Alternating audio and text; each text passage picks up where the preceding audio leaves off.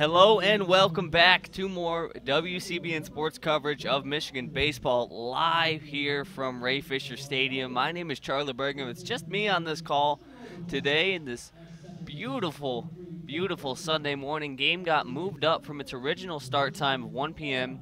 to 11 o'clock, obviously, as you are here now, to try to avoid the rain. Not too many clouds in the sky, but better safe than sorry. We've got the rubber match today between the number 24th nationally ranked Michigan Wolverines facing off against the Maryland Terrapins. Maryland got the best of them back on Friday night in an 11 inning stunner.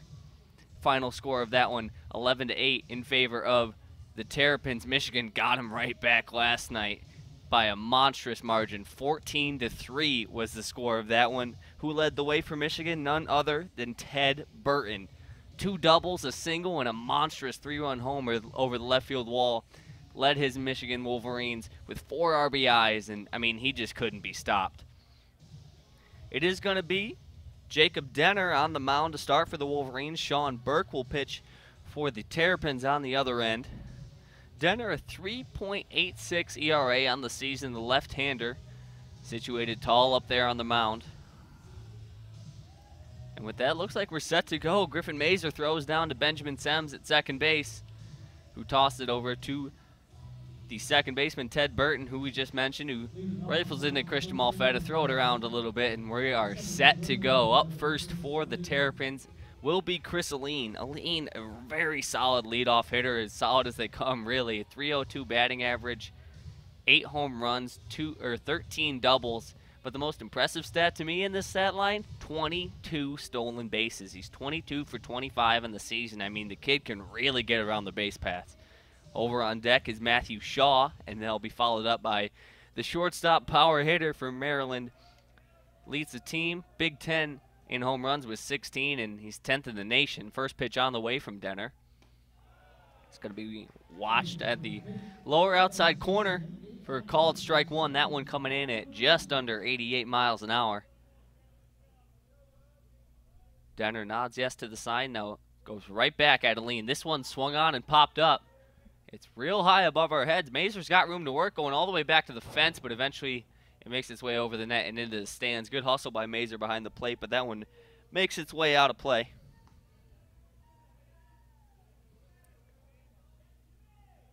Denner, as I mentioned, left-handed up there on the mound. We saw a good mix yesterday from the Wolverines.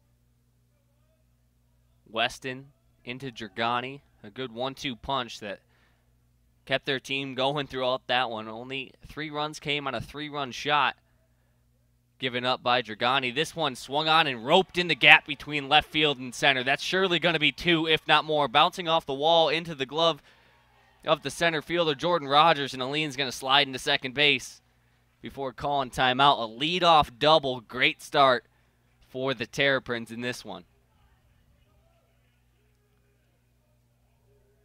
Pitch looked like it just got away from Denner a little bit. Left a fastball right over the middle of the plate.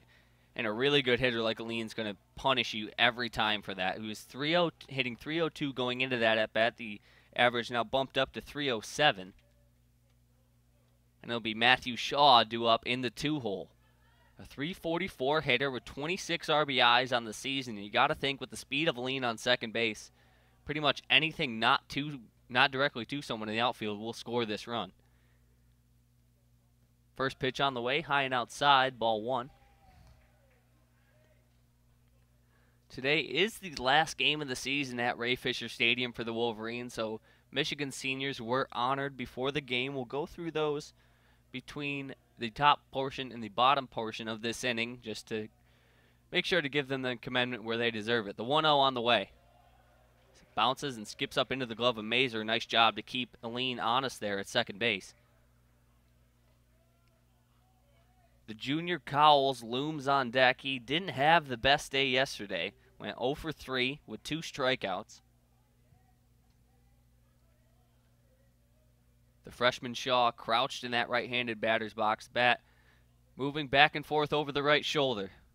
The delivery from Denner swung on and popped up. It's going to stay in fair territory. Jimmy Obertop settling under it with plenty of room to work, and that's going to be out number one. Alleyne stays put on second base. Great pitch there from J from Jacob Denner, just getting him to chase high and away. Couldn't put a real good swing on it. Just popped it up a few feet shy of the first base line, and that's going to bring up Ben Cowles. Benjamin Cowles, as I mentioned, went 0 for 3 yesterday with two strikeouts, but that's not to say that the kid can't hit. He struggled with the strikeout a lot this season. He has 50 total on the year, but put that next to his 16 home runs, and they kind of even each other out. First pitch on the way, he shows bunt and misses. Looks like he did pull back. They're going to check it, and first base umpire Jeff Doy says he didn't go, so it will be ball one. The pullback looked a little bit late from this angle, but Ben Cowles, discipline up there at the dish. Bednar Jr. over there in the on deck circle, the left fielder. Trying to take his time and time up Denner. The 1 0 delivery. That one called a strike at the knees. Cowles wanted that one bad. You could see him load up his hips and bring those hands back like he wanted to fire through. Made the wrong call, obviously, as that one called the strike. The count now evened out 1 1. Alleyne with a pretty big lead over there at second base. Ted Burton shading towards him a little bit, just trying to keep him at least a tad honest. The 1 1 bounces well before the plate. Mazur doing a nice job of keeping it in front of him and not letting the runner advance. Outfield playing pretty straight up, although not too deep a good 20 feet in front of the warning track. Jimmy Obertop over at first place, playing in the gap between second and first. He's a good 20 feet off the bag there. Denner nods yes to the sign, now goes to the glove. Throw is a back pick over to second base. It's a close play. Just getting back as Alleyne. Burton applied a nice tag. Alleyne actually looked like he slid into him. And the umpire is going to quick call time as Alleyne drops something out of his back pocket. Great move there from Denner.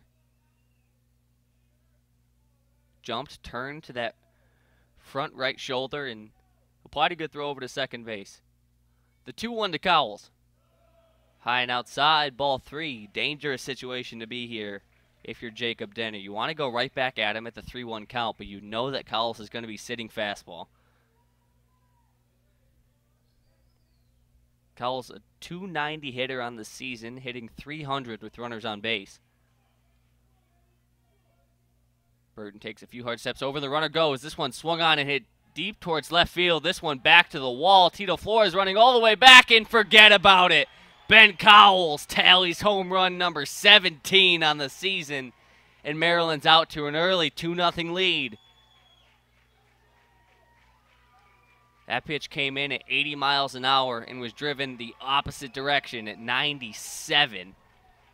Ben Cowles got absolutely all of that one, and Maryland out to an early lead here, 2 to nothing. My partner Zach Linfield and I mentioned it a few times yesterday, and I mentioned it once in that at bat. The power of Benjamin Cowles looms large no matter what kind of hitting slump he's in. Home run number 17 comes in commanding fashion to get his team out early. Pitch number one to Bednar is called a strike in the outside corner. Fastball from Denner. Denner not really known for his velocity, more of a finesse pitcher from that left-handed side. Delivering the 0-1 advantage pitch. This one swung on and hit deep towards left field. Going back, back, back, back to back home runs for Maryland exit velocity of 106.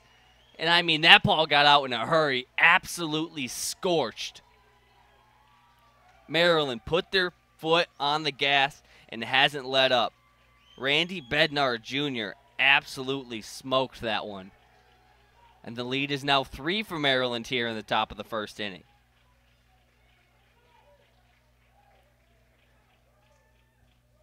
Griffin Mazur goes out and has a quick word with Jacob Denner on the mound. If Michigan doesn't lock it in here, it could be a long day. One out and the lead now three for Maryland. 3 nothing on three hits. Two of those were home runs. The two run bomb from Cowles, followed up by Randy Bednar Jr. right after that.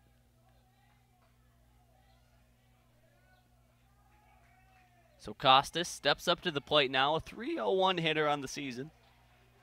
Not too much power, only one home run of his own on the year. Both teams up on their fences, trying to give their teams as much energy as they can. First pitch from Denner, high and outside, fastball, ball one.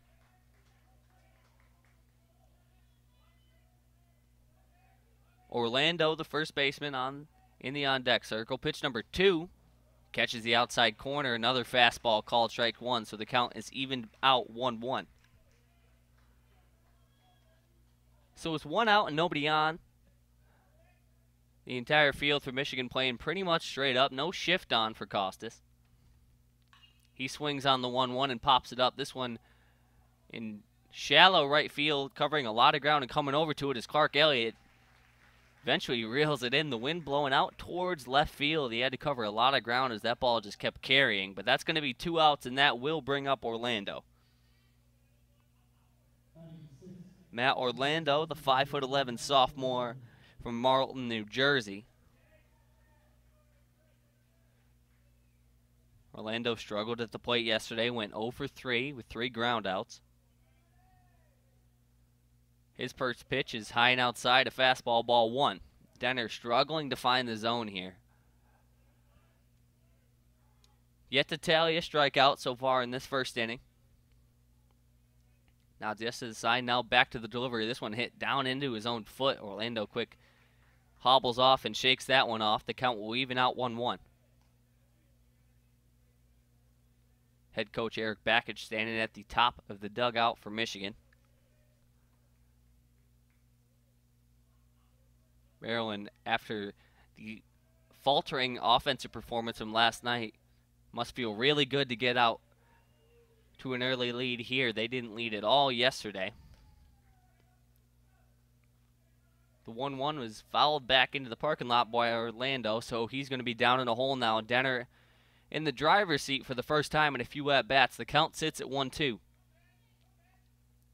Swung on and chopped softly into the Michigan dugout and right into the hands of Willie Weiss.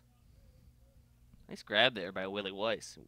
Fielded it off the tip from Will Proctor. I mean, everybody's getting involved here. Count still sits 1 2 for Denner.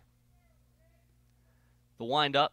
This one way high and outside, overthrew a little bit there. That fastball coming in at 88 miles an hour, but Griffin Mazur had to jump up to his top right side to reel it in.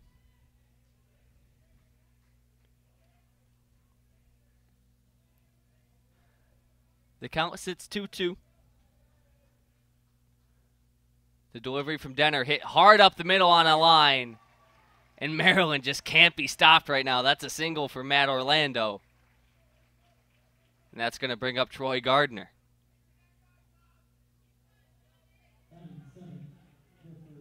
Maryland now tallies their fourth hit in just the first inning.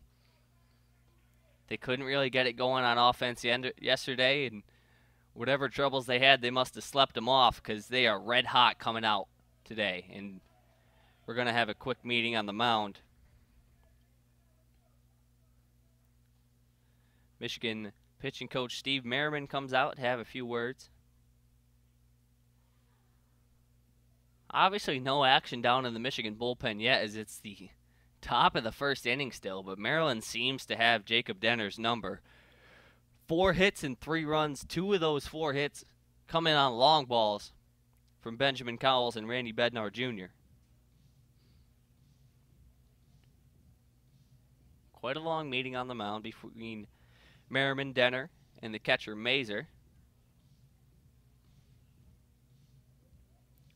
Sharing a few words all the way around. If you're just joining us, we'd like to thank you for tuning in to WCBN Sports coverage of Michigan baseball live here from Alumni Field or from Ray Fisher Stadium, rather, as we look across into Alumni Field. This will be our last broadcast of the year as it is the last home game for the Michigan baseball team. If you're a fan of everything Michigan, make sure to tune in tonight as the Michigan softball team faces off once again against the Washington Huskies. They took the best of the Huskies 2 to 1 last night. Obviously, first round of the college softball tournament is double elimination. Michigan has won both of their first two games, two to nothing against Seattle University, then the thriller last night, two to one against Washington. Denner delivers to Gardner, pops this one up. It's tailing foul over top with plenty of room to work, and he's going to reel it in. So Michigan finally gets out of this one.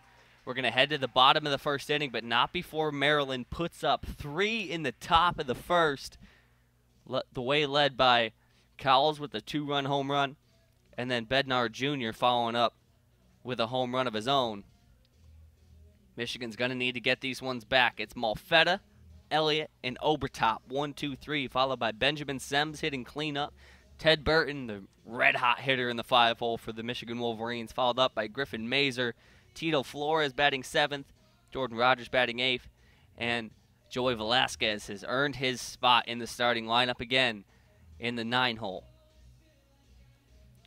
On the mound for Maryland's going to be Sean Burke. Burke a physical specimen up there on the mound. Said he gets six foot six, 230 pounds. The redshirt sophomore from St. John's High School in Sutton, Massachusetts. Last year was named a collegiate baseball freshman All-American in 2021. He was named the preseason Big Ten Pitcher of the Year by Perfect Game and was also named preseason All Big Ten by Perfect Game between innings quick here. As I mentioned earlier, it was senior day for Michigan. We'll give you a quick rundown of all the seniors just to give them all the shout outs they deserve. Just going down the line. The class of 2021 for team number 155 is Benjamin Sems, Christian Bullock, Danny Zimmerman, Griffin Mazur, Christian Malfetta, Will Proctor, Ben Dragani, Matt Frey, Isaiah Page, Blake Beers, Joe Pace, and Logan Pollock. And also wanted to mention Jackson Hawkins, the volunteer team manager, has put in plenty of time to this Michigan team and has at least been a partial key to success for this Michigan team, doing everything he can to make the team better. Again, just want to commend those guys for all their hard work and dedication that they've put into Michigan as a school and as an athletic program. They deserve all the success coming their way in the coming years. So in the first inning, Maryland goes four for seven at the dish to get out to an early lead. As I said, they only scored three total runs yesterday on six total hits. They're already well on their way to surpass that. Stepping up to the plate now is Christian Malfetta. He struggled at the plate a bit yesterday, went 0 for 4, but did work a walk and scored in his fifth plate appearance. hitting 292 on the season. That's something that should be said about Christian Malfetta. He struggled a bit in these past few games. As I mentioned, went 0 for 4 yesterday, but the average still hovering just under 300. Talking stats for Sean Burke, a 3.90 ERA, 129 WHIP. In 55 and one thirds innings pitch, he struck out 79. First pitch on the way to Malfetta. Fastball outside, ball one. We mentioned a few times in the broadcast yesterday, Maryland's a team that prides themselves on their offense, but that is not to say that their bullpen is full of any slouches as pitch number two misses outside as well. Sevakul, who we saw yesterday, obviously a stud Sean Burke as well. Sean Hine put in some decent innings for the Terrapins yesterday. Malfetta swings on the 2-0 and pops it up into right field. Settling under it is Troy Schreffler and he reels it in for out number one. So Malfetta oh over his last now five. Can't seem to find a gap. That's going to bring up Clark Elliott. Elliott hitting 288 on the season, five home runs, eight doubles. One of the speedier players in this Michigan lineup. Seven stolen bases to his name this season. Over in the on deck circle is Jimmy Obertop. First pitch to Clark Elliott. Low and outside, called ball one. Clark Elliott, a sophomore from Barrington, Illinois, has put in a very productive season so far for the Wolverines. Pitch number two on the way from Burke is fouled back to my left and over towards Yost Ice Arena, just missing a window. In yesterday's ball game, Elliott went two for four, had himself a day. He settles in for pitch number three, swings on the 1 1 and pops it towards left field, way back to the warning track, and awkwardly getting it, finally reeling it in, is the left fielder, Randy Bednar Jr. He had trouble reading that one off the bat of Clark Elliott, looked like. I mean, he took his first step back and was sort of walking back to it. Eventually, he just had to jump up and throw his glove as high as the air as he could and reeled it in. But could have been disaster for the Terrapins. But two up and two down. The pitch count just six for Sean Burke. He's been incredibly efficient in this one so far. That'll bring up Jimmy Obertop. Benjamin Sems looming on deck.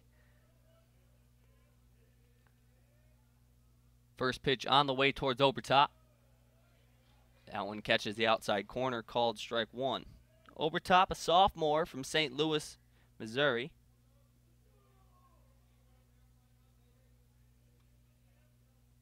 The 0 1.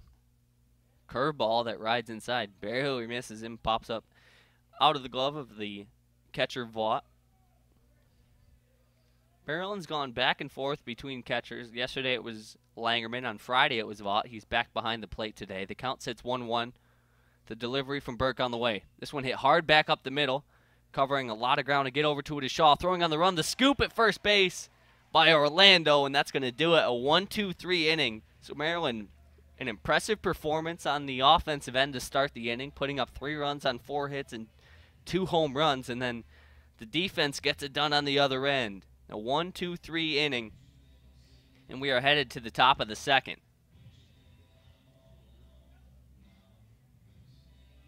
At times yesterday, Maryland looked like they were struggling. They couldn't get runs across the board. The pitchers were getting knocked around a little bit. Today, through at least the first inning, they look like a completely different ball team. They look like the team we've seen throughout the rest of the season, pretty much.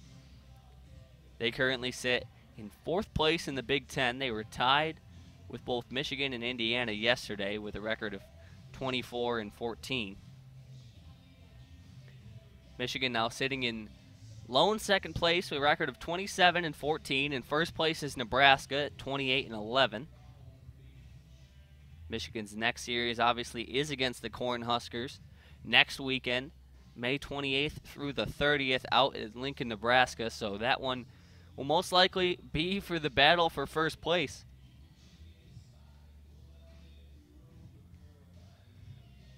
Michigan just looking to get it done here, close out the season in as strong a way as possible to earn themselves a nice seeding in the NCAA tournament. The throwdown from Mazur, and we're set to go here in the top of the second inning. It's going to be 8, then 9. Schreffler, then Vought before heading back up to the top of the order to Alleyne. Maryland, just their second time up, will already be going through the order for a second time. Troy Schreffler Jr., a sophomore from Harrisburg, Pennsylvania, sitting at six foot one and 190 pounds.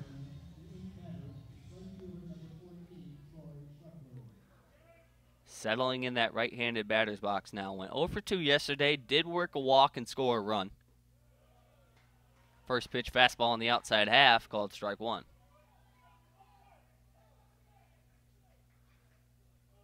Jacob Denner just looking to settle in here.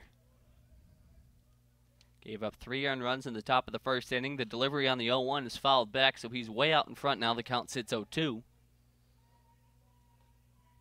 Left a couple fastballs over the plate, and these very solid Maryland hitters punished him for it. Hit two long balls over the left field wall. There's a little action down there in the Michigan bullpen. Once we have those numbers, we'll give them to you as soon as he can, and he gets him swinging on the 0-2. Fastball high and outside, gets Troy Schreffler to chase and he's got his first strikeout of this game, and that's out number one here in the top of the second inning.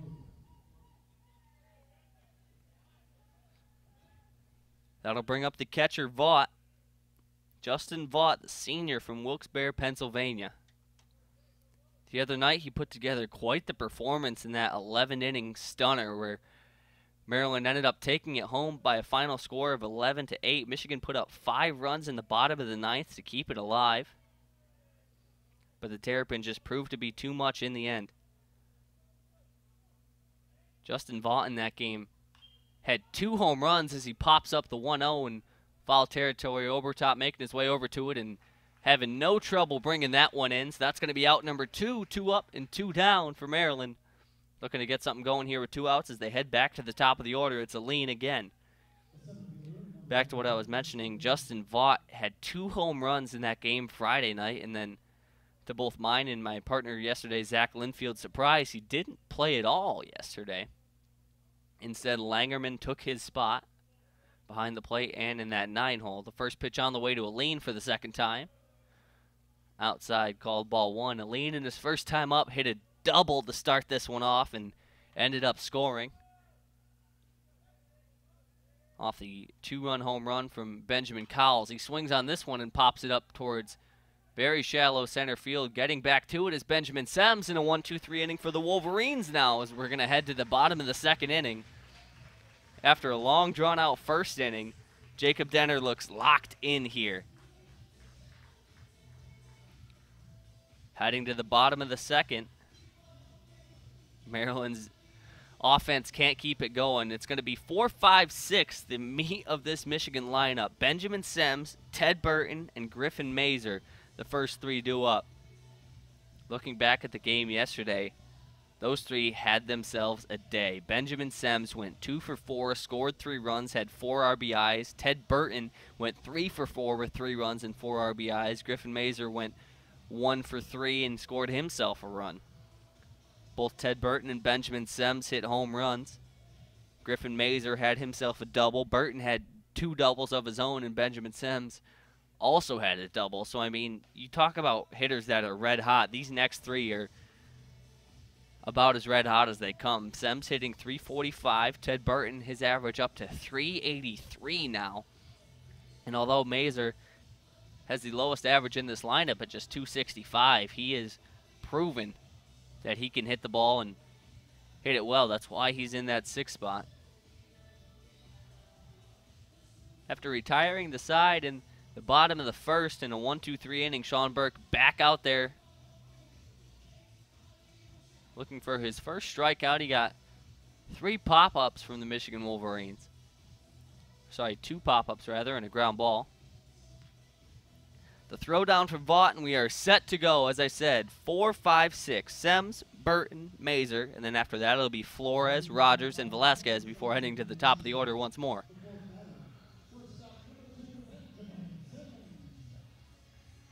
Sems got it going for the Wolverines yesterday. Had a hard hit single into the outfield.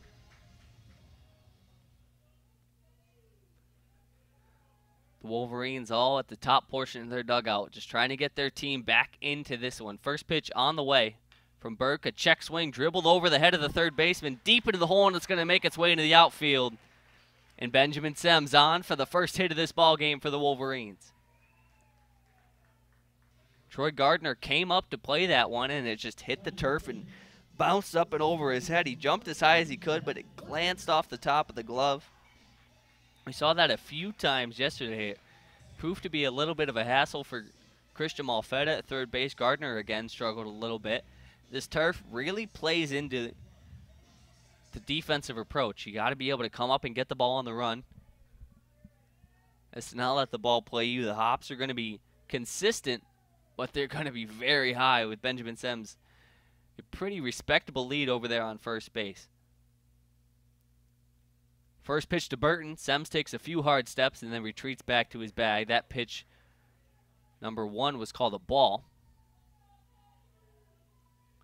Burton, as I mentioned, is on a bit of a tear right now. Three for four yesterday with a single, two doubles, and a home run. Sems over on first base has four stolen bases this year, so you know he can run. Pitch number two is driven towards left field by Burton. That one's going to get down to the wall. He's going to have at least two. Sems over towards third base and another double for Ted Burton. He just cannot be stopped right now. In his last five at bats, that is now his third double. Sems advances to third base. The average for Burton now 389. That'll bring up Griffin Mazur with no outs and two runners in scoring position. The Wolverines knocking on the door here.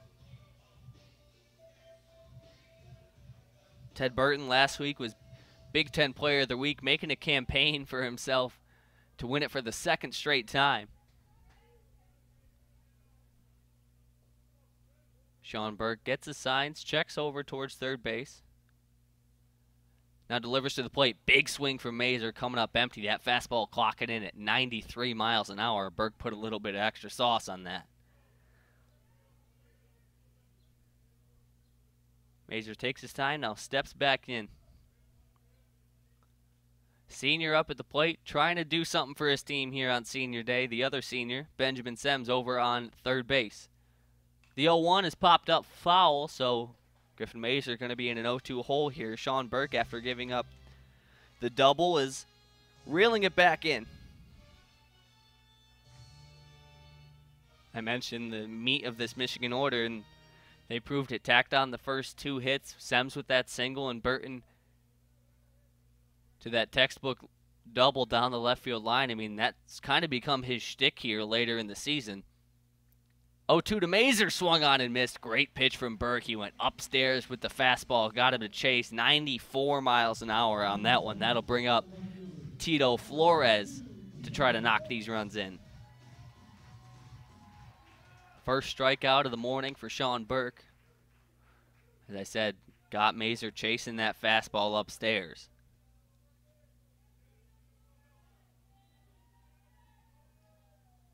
Flores takes his time, takes a few deep breaths looking at his bat, and now steps in. Jordan Rogers over there on deck. Burke again looks over towards third base, now delivers to the plate. Flores watches pitch number one outside. For ball number one, he's out to an early lead in this count. Action in the Michigan bullpen has ceased since the last time I mentioned it. The wind probably not playing too much of a factor, not blowing too hard, but it is blowing out towards the left field corner. The 0-1, or 1-0 rather, is a breaking ball that misses high, so Tito Flores will have himself a hitter's count, 2-0.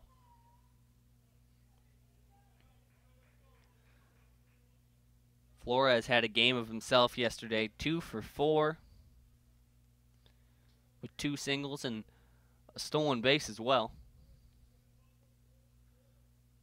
Taking in time to deliver is Sean Burke. The 2-0 on the way. This one swung and hit deep towards left field, going back to the wall. And see ya! A three-run home run to answer back. Tito Flores knocks one over that left field wall and ties it back up. That one coming off the bat didn't look like it had the power to get out, but Flores knocks it over the wall and we're tied back up. Two high-octane offenses battling it out here just in the second inning, and that is now the third home run that we've seen. Tito Flores clears the bases. And this script seems to have been flipped here. The first inning, Sean Burke looked untouchable, and Jacob Denner got rocked around a little bit. Here in the second inning, it seems to be the other way around. Tito Flores clears the bases. Sem singled to start it off. Ted Burton hit a pitch down the left field line for a double, put the runners on second and third, and Tito Flores said forget about it, just drove it over the wall. First pitch to Jordan Rogers, low and in the dirt, ball one. Both of these teams right now just showing why they deserve to be at the top of the Big Ten. Pitch number two from Burke is watched on the outside corner for a called strike one. Rogers, a 296 hitter on the season, went one for four yesterday with two RBIs and scored a run of his own. Takes a big hack at the 1 1 and comes up empty. The count will go 1 2. The outfield playing pretty much straight up. The center fielder lean a little bit of a shift towards right field. Nothing too crazy. Joey Velasquez waits on deck. And he gets him swinging for out number two of this inning.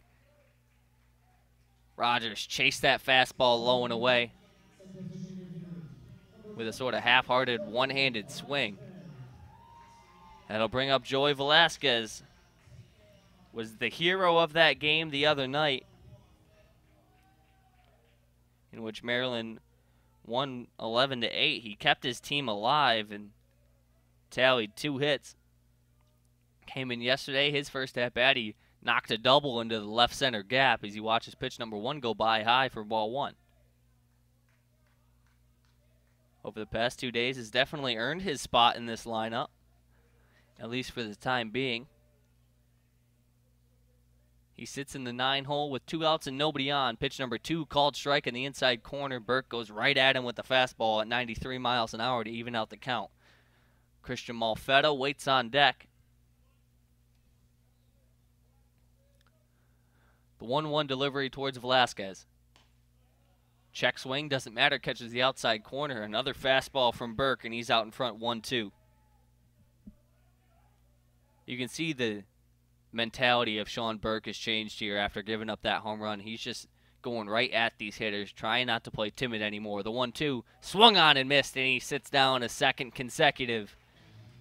And that's going to do it for the bottom of the second inning. So we're going to head to top three, but not before the Wolverines fight back with a home run of their own. Benjamin Sems leads off the inning with a single. Ted Burton, Teddy Two Bags, as my partner yesterday, Zach Linfield, liked to call him, knocks in another double keeps Benjamin Sems on third base, and Tito Flores steps up two batters later and knocks one over the fence to tie it up. We're locked at three here in the top of the third inning. You are listening to WCBN Sports.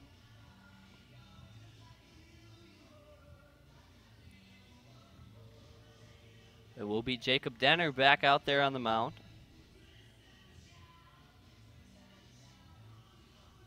Denner, after giving up three runs in the top of the first inning, came back with a scoreless inning in the top of the second.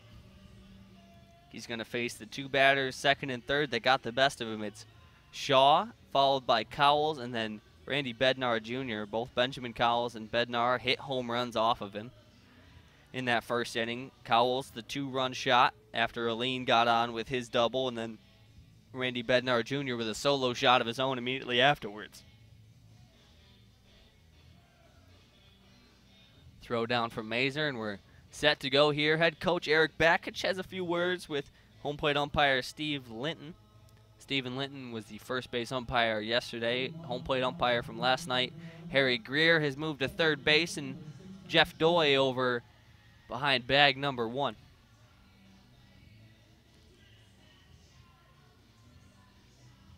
As the music continues to play, and finally turns off. We're set to go here. The freshman Matthew Shaw stepping into the box now.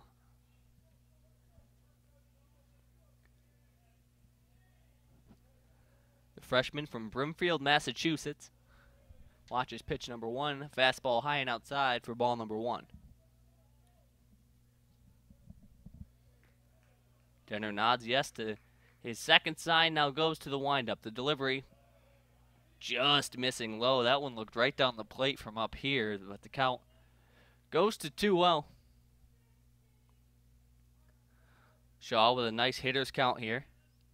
Popped up to Obertop. His first time up. Hits a line drive on 2 0 into the left center gap. That's going to be two bags, maybe more. Awkwardly fielding it is Tito Flores. He's going to take a hard round towards third base, but decides to stay at second for a stand up double. Got the pitch he wanted on 2 0 and drove it. The 342 hitter continues his impressive freshman year campaign.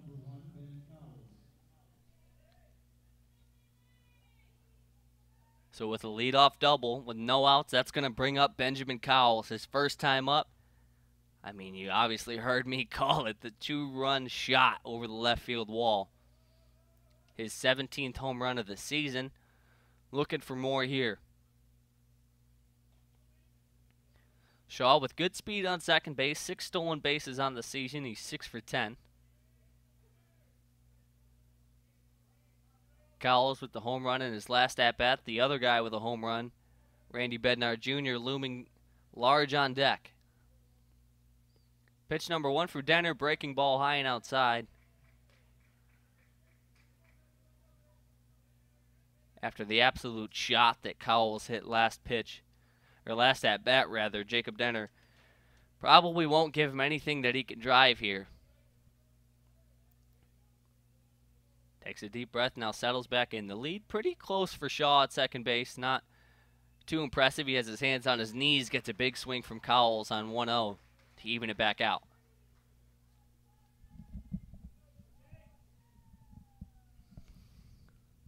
Here's some let's go Jake chants towards Jacob Denner from the Michigan faithful in the stands today. The crowd not as big as it was yesterday, most of them under the awning as they don't want to get battered by the early morning sun. The 1 1 on the way from Denner.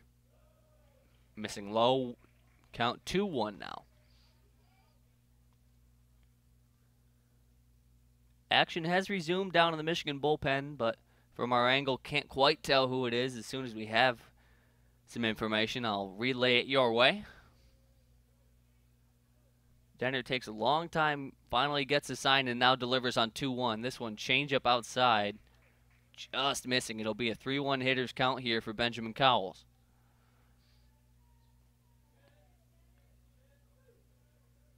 Looking at the tendencies of Benjamin Cowles, he's most likely just going to be trying to sit on a fastball here and swing for the fences. His 17 home runs tell the story, along with his 50 strikeouts. Denner takes a look at second base, now delivers to the plate. This one hit high towards center field. Way back to the wall is Tito Flores. Can he get to it? And he does it. The warning trap fumbles it in his glove. The runner's going to tag. Cowles almost got the best of him for the second time. They're going to check it at second base. And they say he did, in fact, tag. Griffin Mazur has a quick word with the home plate umpire. Tito Flores didn't catch that cleanly, and the tag came as soon as the glove hit his glove the first time, or as soon as the ball hit his glove the first time. Rather, Coach Eric Bakich is going to come out and have a word with first base umpire Jeff Doy, who made the call.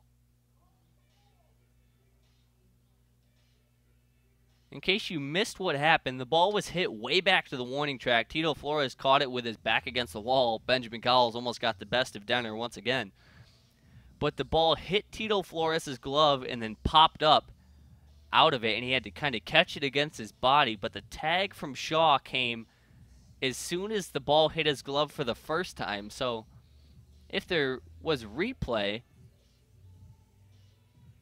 here at Ray Fisher Stadium, I think the call would eventually be reversed. But it looks like Shaw's just going to stay safely on third base. I get what Michigan is saying, though. The pitch from Denner was a fastball on 3 1, and Benjamin Cowles hit it pretty deep out there towards left field. It looked like it might have the distance to carry, and Bakich is going to come back out there and have a quick meeting with Denner on the mound. With Randy Bednar Jr. stepping up to the plate, he had a solo home run of his own last time up. The threat of an RBI is still in the back of the heads of the Wolverines. They got past Cowles, but the fight is not yet over.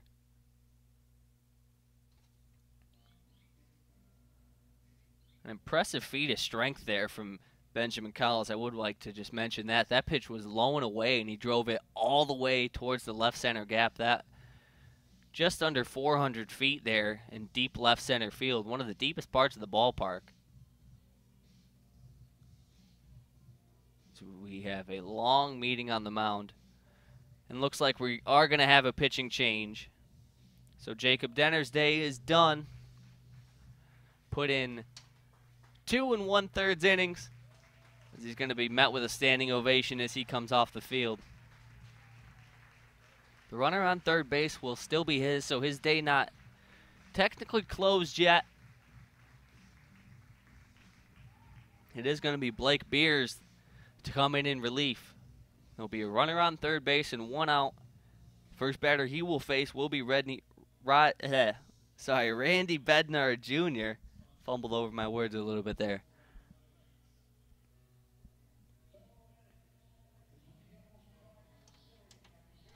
Blake Beers, a right-hander, as opposed to Jacob Denner, who was, of course, the lefty that we just saw.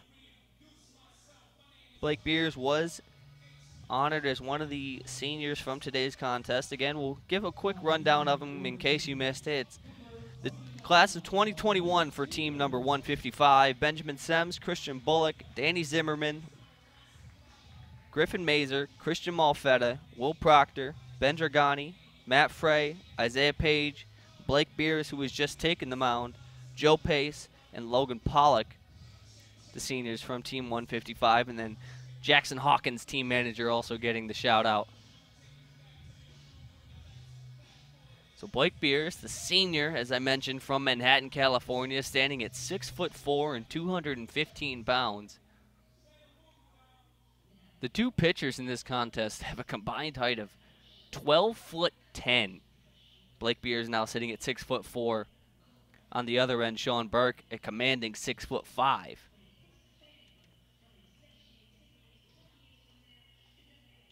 Beers still just rolling through his practice pitches. Historically, Blake Beers has just been an absolute workhorse for this Michigan Wolverines team. He's been solid all the way through his campaign. Has been here all four years.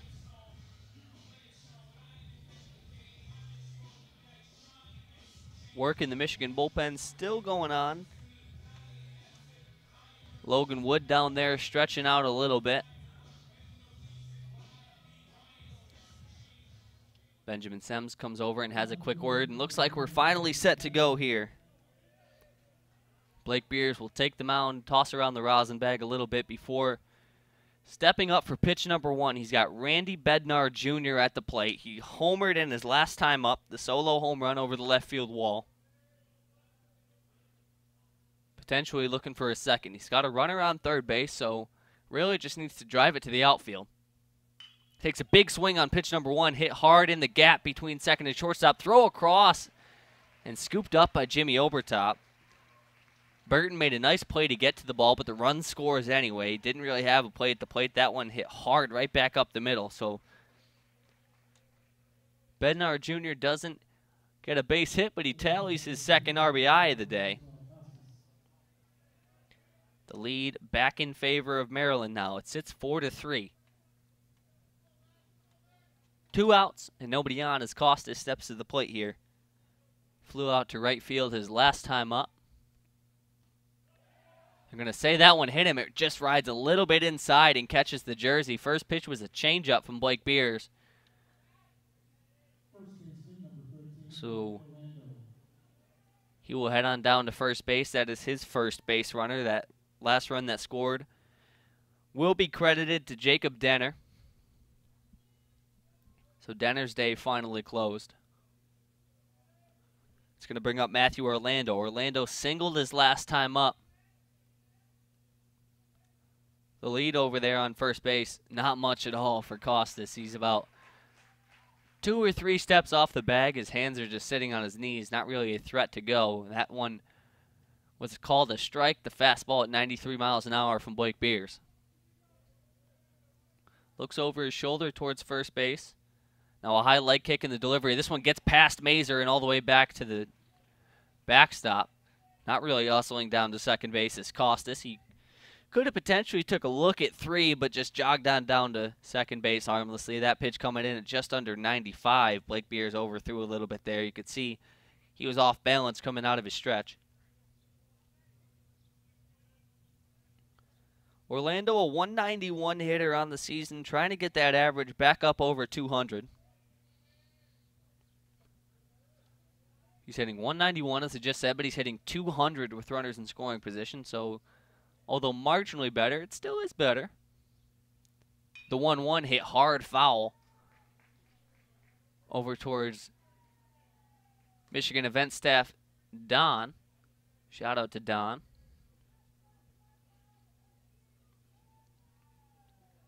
Blake Beer's way out in front here. It's 1-2 the count. Maryland in search of their fifth hit and their fifth or their sixth hit rather and their fifth run here in the top of the third inning. They've already put one across, looking for more. This 1-2 pitch low and in the dirt. That fastball over 95 miles an hour from Blake Beers, pumping it in there.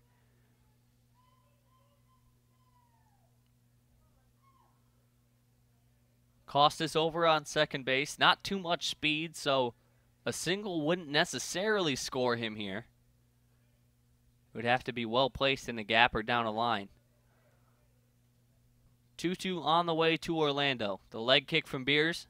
The delivery chopped foul towards third base. Again, that one just bouncing super high up off the turf, but foul, so it's no problem for Malfetta. The count will stay 2-2.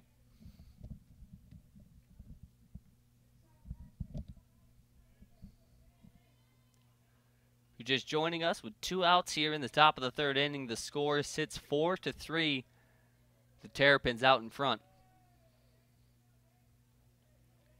Beers nods no to the first sign. Now eventually agrees with Mazur, settles in now. The 2 2. Low in the dirt again. Mazur, nice block to keep Costes over there at second base on us. Troy Gardner over in the on deck circle. Michigan were to get back to the offensive end here on this pitch. It's full count, two outs, so have the top of the order up. The payoff pitch is low and in the dirt, and he's going to walk him. Beers was out to an early lead there on Orlando. Matthew Orlando just did a really nice job fighting his way back through that at bat and working a full count walk. That's going to bring up Troy Gardner.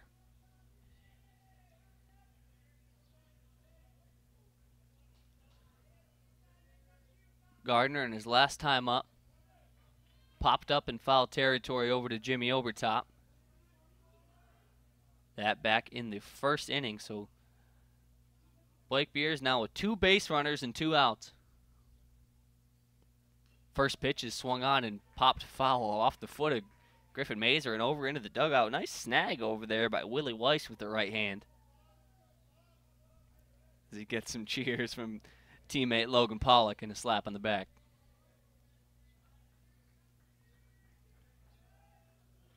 Count sits 0 1. Beers not really worrying about those base runners. Delivers the 0 1, catches the bottom of the zone, fastball, strike two.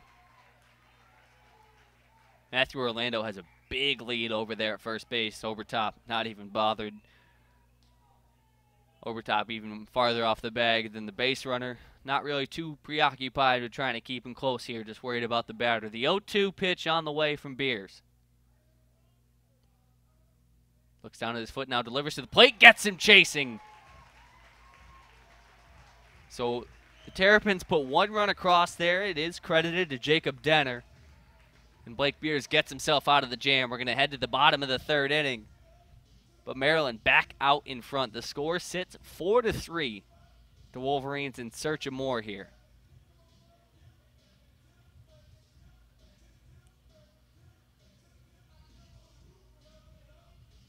It will be Sean Burke back out there on the mound.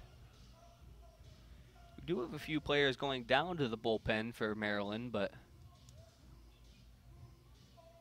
I don't see any reason to take Sean Burke out anytime soon. Walking down there is Gavin Stelflug. We saw him throw one inning last night. Bullpen catcher James Heffley heading down there as well. As I mentioned a few moments ago, it'll be the top of the order due up for the Wolverines. It's Christian Malfetta, then Clark Elliott, then Jimmy Obertop. Malfetta flew out to right field his last time up. Still looking for the first hit in his last six plate appearances. Went 0 for 4 yesterday with a walk. He did score on that time where he walked, so still putting in production for the Wolverines, even if he is struggling at the plate a little bit.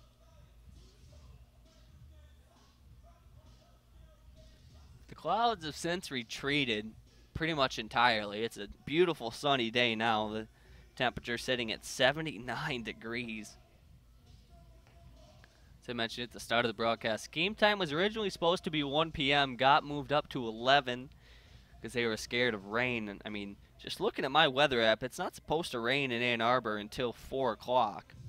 80% chance at 4 and then 100% chance at 5 and 6. And back down to 80 at 7 and onward.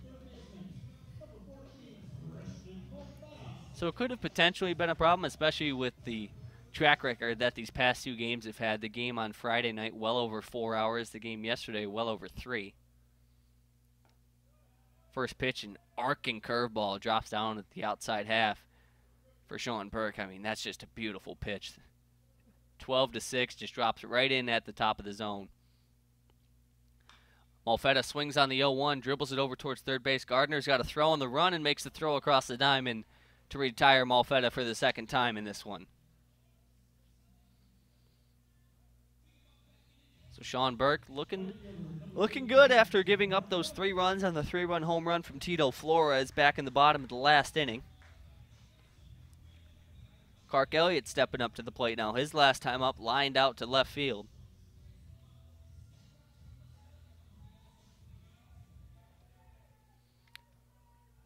Burke nods no to the first sign, no yes to the second. The delivery is way high and outside. Elliott watches that one go by for ball number one.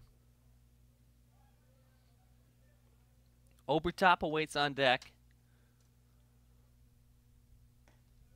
The 1-0, that same arcing curveball that got Malfetta is a little high this time for Clark Elliott. The count will go 2-0. Hitters count on the way. The 2-0 towards Elliott. He watches it go out on the outside corner. Of fastball setting at 93 miles an hour. Burke gets his way back into this one. Doesn't drop 3-0.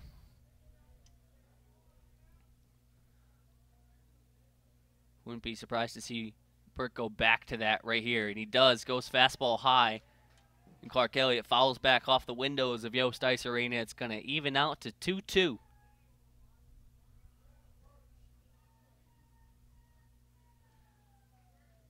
Elliott, as I mentioned before, went two for four yesterday, scored three runs. The 2 2s popped up towards left field, this one tailing well foul. He's going to do that one again.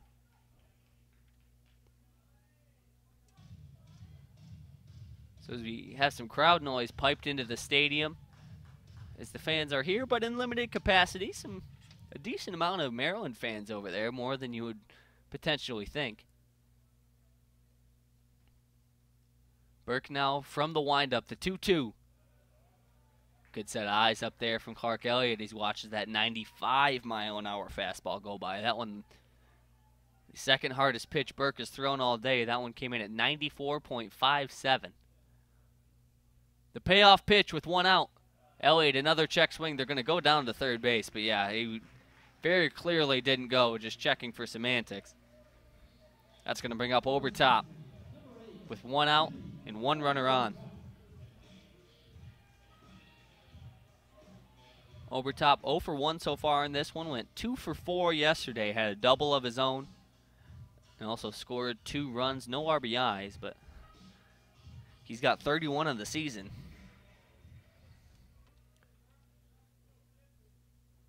Obertop, a 276 hitter, 552 slugging percentage. Pitch number one from Burke on the way. The runner goes. Elliott sliding into second base with more than enough time. Elliott got a really nice jump. The throw from Vought, not really on a dime, kind of high and outside. Shaw had to jump up to grab it to apply the tag. So another stolen base for Clark Elliott, his eighth of the season now. So I make that ninth of the season.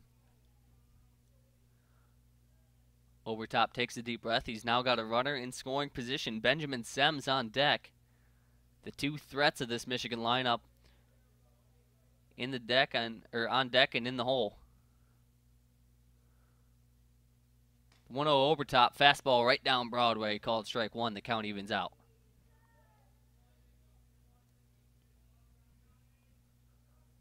Elliott, good wheels on second base, as we just saw. Nine stolen bases on the season. A single to the outfield and most likely score him if he gets a good jump.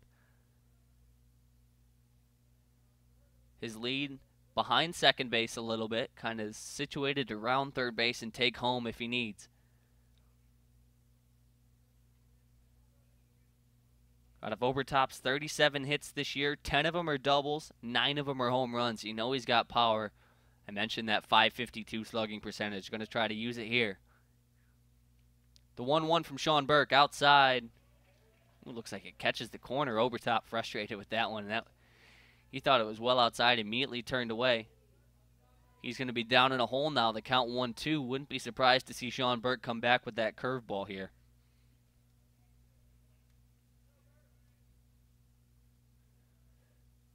Burke taking his time, nods yes to the first sign he sees. Checks over at Elliott at second base. Takes a long look at him now to the plate. The 1 2 popped up over towards the parking lot behind us and over towards Cliff Keen Arena behind. We mentioned it a ton of times on the broadcasts, but this view from the press box at Ray Fisher Stadium is about the best view you're going to get anywhere on campus. You've got Yost Ice Arena to the left, Alumni Field right across from us, Chrysler Center, the big house, all within view.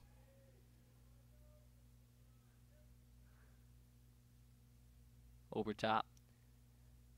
Going now, the runner goes and he swings and pops it foul again. Clark Elliott got a really good jump. He would have been safe at third base. This freshman Dylan Stanton runs out more balls to home plate umpire Stephen Linton.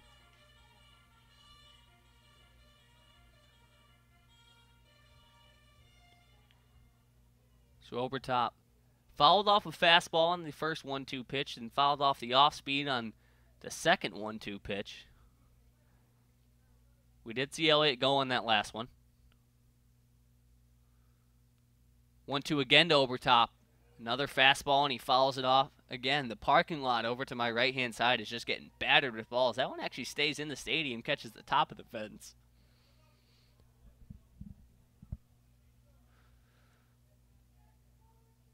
My man, my man Don runs over there and tracks it down. Obertop has now had three straight 1 2 pitches. He quick calls time. Takes off his helmet and wipes the sweat out of his eyes. Not as hot as it was yesterday, and not definitely not nearly as muggy, but it still is 80 degrees, so definitely by no means is it cold up there. Burke takes a look at second base. They throw a backdoor pickoff, and now they've got Clark Elliott in a pickle. And they get him. Just running him down is Shaw. Beautiful move there. They had him lined up to a T. Elliott had a decent lead because he was obviously looking to score. It's going to be two outs now for Jimmy Obertop at the plate. But beautiful just timing move from Sean Burke.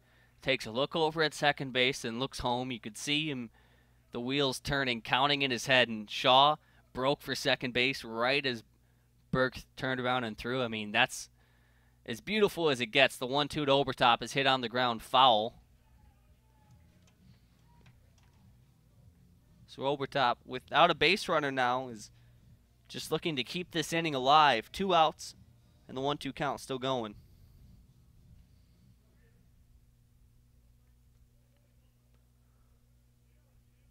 The 1 2 on the way from Burke. Up high, finally, ball number two goes across. Pops out of the glove of Vought and uh, rolls back to the backstop.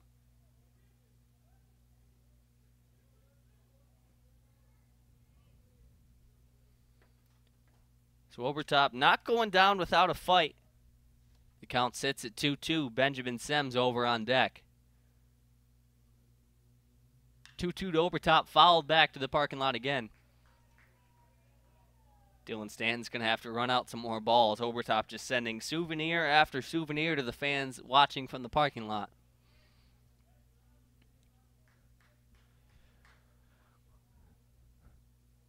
Settles right back in, not wasting any time. Burke from the windup on 2 2.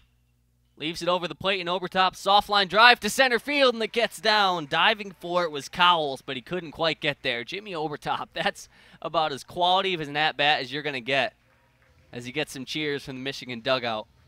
He was stuck in a 1 2 hole forever. Fouled off about four or five pitches. Got one more ball, fouled off another one, and then bloops a single into center field. Doesn't matter that it wasn't hit too hard. He's on base in the inning, still alive. That'll bring up Benjamin Sems. Sems, the Wolverine that got it going in the last inning, had a single followed up by Ted Burton's double. Then Tito Flores hit that three-run monster bomb to initially tie the game. He watches the first pitch, a fastball high and outside for ball number one.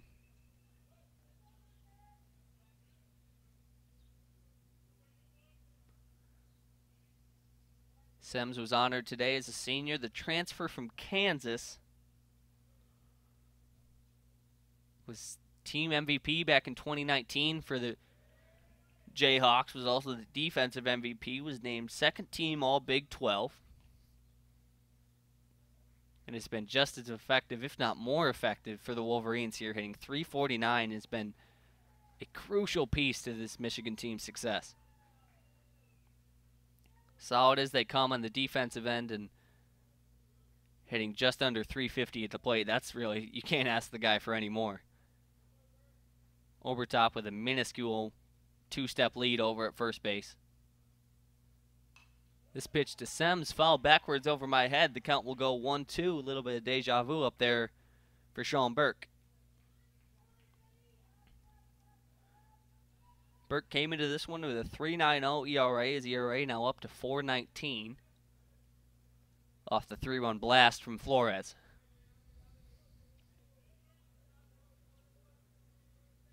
Obviously, as I mentioned, Maryland retook the lead in the top half of this inning. It sits at four to three. Burke takes a few looks over it Obertop. Now delivers to the plate. Off-speed pitch, followed back towards the dugout. That one, that curveball, just drops into the top of the zone. 77 miles an hour was the pitch.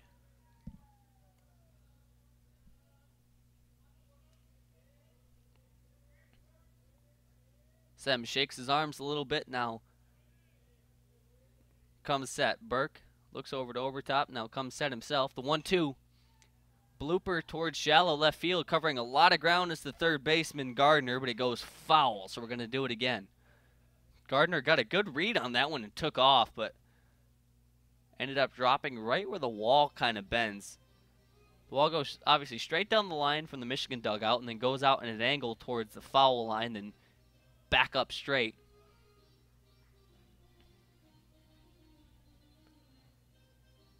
Michigan in the cream uniforms today. They were in the white pinstripes yesterday. Maryland has chosen red tops and hats for white pants with a singular red stripe down the side today.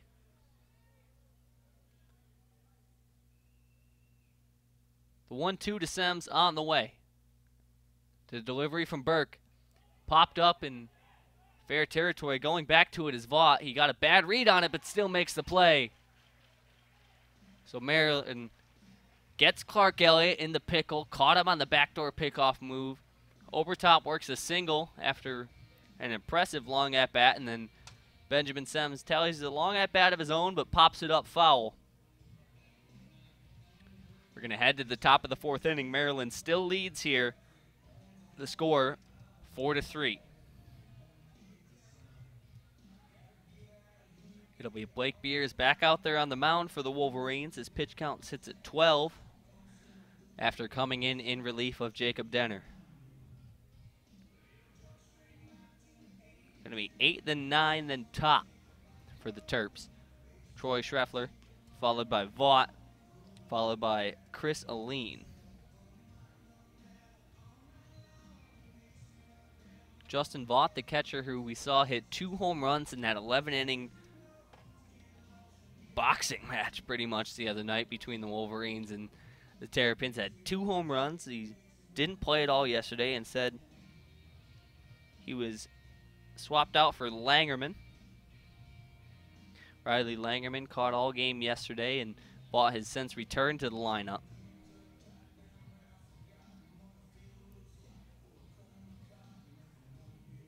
No action in either bullpen. Don't see any reason why there would be. Blake Beers, since coming in, has looked pretty good. After coming in relief of Jacob Denner, Sean Burke has looked about as good as they come, besides that home run to Tito Flores. First inning, he looked pretty much unstoppable. Last inning, he looked unstoppable. And really, the only thing that was his weakness was Benjamin Sems, Ted Burton, and Tito Flores. There was a single, a double, and a three-run home run between the three of those, respectively. As the music fades away, we are set to go here. The infield playing straight up, outfield as well, although a little bit shallow. Troy Schreffler, the first up. Struck out swinging his first time up, back in the second inning.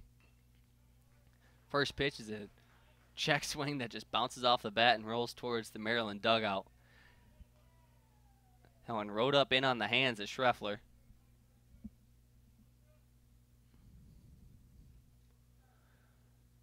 Taking his time now, takes his place back in the box once more. Beers just working straight from the stretch. Off speed gets away from him there high for ball number one.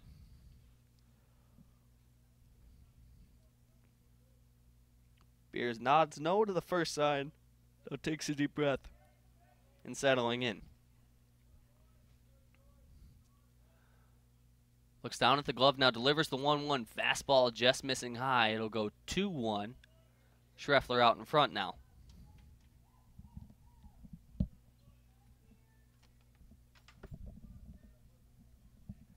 So here's some Let's Go Beers chants from the stands. Taking his time getting his signs from Mazur. Now to the glove. Vought on deck. Looks at the glove now, delivers. This one hit hard right back up at him, barely getting out of the way as Beers. And Schreffler reaches on a single. That is a scary sight to see no matter who you are. A line drive hit right back at you. Thankfully, Beers got out of the way. But good piece of hitting there from Schreffler just to go right back where it came from. That's going to bring up Vought. Popped up to third or popped up to first base rather, his first time up. That came back in the second inning. Schreffler has plenty of speed over there at first base. 90% on stolen bases on the year. He's 9 for 10. He scored seven runs. First pitch from Beers, breaking ball that drops in in the outside corner at just under 80 miles an hour for strike number one. On deck is the top of the order, Chris Alleyne.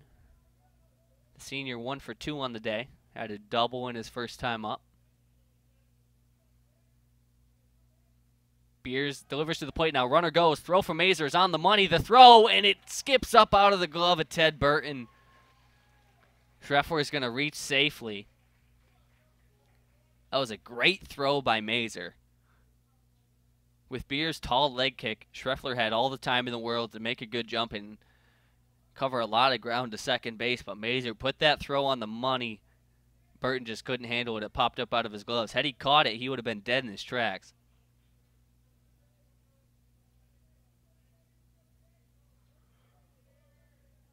So the count sits at 1 1.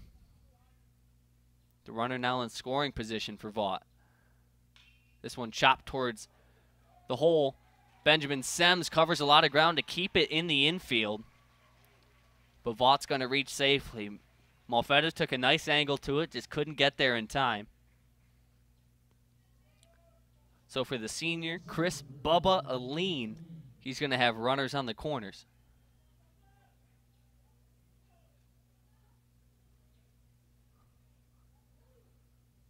Takes a long time looking over towards his dugout. Alleyne, a switch hitter, hitting from the left-handed batter's box this time. Matthew Shaw, the freshman, awaits on deck. Alleyne has 31 RBIs on the season. Plenty of potential for more here with runners on the corners. Not much speed on first base with Vought, but Schreffler with the 11 stolen bases that we've seen. You know he can get around the base pass. Sac fly would almost definitely score him. Pitch number one from Beers. Fastball on the outside corner, or changeup rather, on the outside corner, called strike one. Home plate umpire Stephen Linton's zone has been about as consistent as they come. From up here, at least looks like about half a ball on either side of the plate you're going to get. Beers to the glove, and now the delivery towards home plate. Bounces up into the chest protector of Griffin Mazur. The runner's going to go, and he's going to reach safely. Mazur fielded it cleanly, but Blake Beers didn't cover the plate. I don't think he thought the runner was going to go. We mentioned the speed of Schreffler. He saw that there was nobody covering home base and thought, well, I'm faster than Griffin Mazur is. I might as well just take home plate, and he does just that. So aggressive base running pays off. Maryland extends their lead to now two as the score sits five to three. The runner advances to second base as well. So a runner still in scoring position, just one less total base runner for Chris Alleyne here. Check swing on 1 1 doesn't matter. Fastball hits the outside corner. The count goes 1 2. I mentioned it previously earlier, but this Maryland team looks like a completely different ball team than the one we saw yesterday. They're composed and they've been aggressive all game long. 1 2 on the way is hit on the ground deep in the hole between second and third, or second and first, rather. Burton gets to it in time to keep the runner at home, but can't make the play with the speed of Chris Alleyne. Maryland just stringing together hits here. Now, eight hits as a team, five runs. That'll bring up Matthew Shaw. Had a double and scored his last time up. He's got runners on the corners. You mentioned the speed of Schreffler. Well, Chris Alleyne, even faster. 22 stolen bases on the season. Mazur's going to go have a quick word with Blake Beers on the mound. Pitching coach Steve Merriman took a few steps out of the dugout, then came back to the top of the steps. Now he's going to walk out there and just have a quick meeting with Blake Beers. This game extremely important for the Wolverines. Should they win this one, they pretty much control their own destiny for first place in the Big Ten.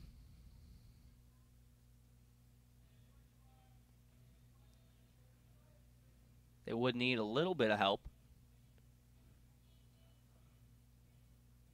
Long meeting out there on the mound. Home plate umpire Stephen Linton comes out to just let them know that their time's just about up. It's Alleyne on first base, Vought on third. The freshman Matthew Shaw with potential to continue his impressive freshman campaign this year. The freshman hitting 346 with a 315 on base percentage, slugging percentage of 529. He's got 53 hits, has scored 30 runs, and 26 RBIs. I mean, you can't ask more from anybody, let alone a freshman.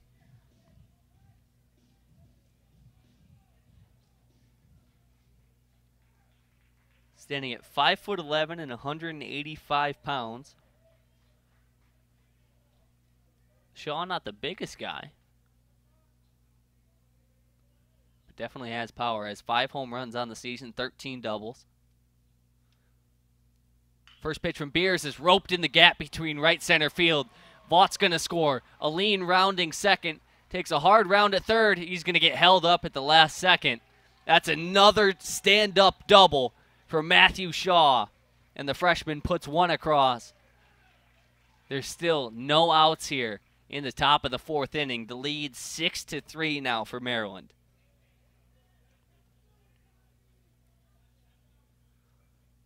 Tied for the biggest lead of the ball game for Maryland. They had that 3 nothing lead going into the second inning, and Tito Flores hit that three run home run to tie it. And Coach Erik Bakich goes out there to the mound, and that's going to end the day for Blake Beers. Beers came in in relief of Jacob Denner and got it done for a bit, but Maryland seems to have found his stuff Beers is going to be met by his teammates out there in front of the dugout and the cheers from the Michigan faithful in the stands. See Beers obviously frustrated.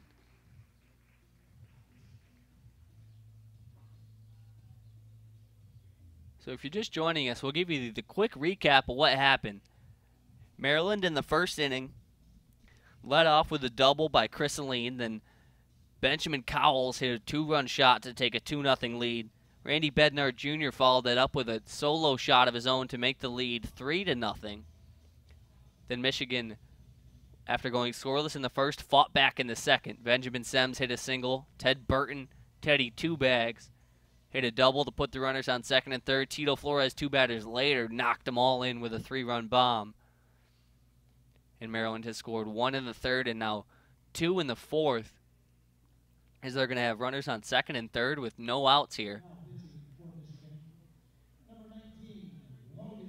The ERA for Blake Beers has jumped to 8.06, and his day is not closed. Both runners are credited to him. The pitcher out there on the mound, the freshman Logan Wood. Wood a lefty, so all sorts of looks here for Maryland. They're going to have to adjust once more. The Six foot two, 195 pound freshman from Macomb, Michigan. Give you his quick stat line on the season. He's has a 3.38 ERA. He's only thrown eight innings, but has tallied 12 strikeouts. Has let up eight hits, two of those a double, and one of which was a home run.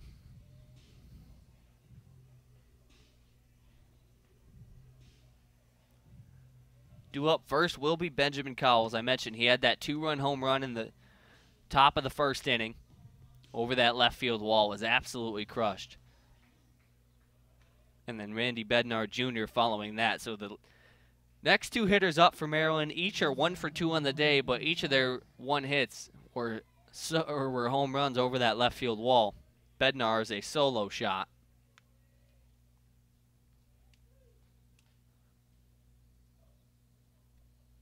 Cowles, 17 long balls on the year for a total of 46 RBIs. He's got potential for two more here with runners in scoring position. It's Shaw on second base and Alleyne on third. First pitch on the way from Wood. He shows bunt, but pulls back as the curveball bows outside. The corners crashed pretty hard. Obertop was right on top of it.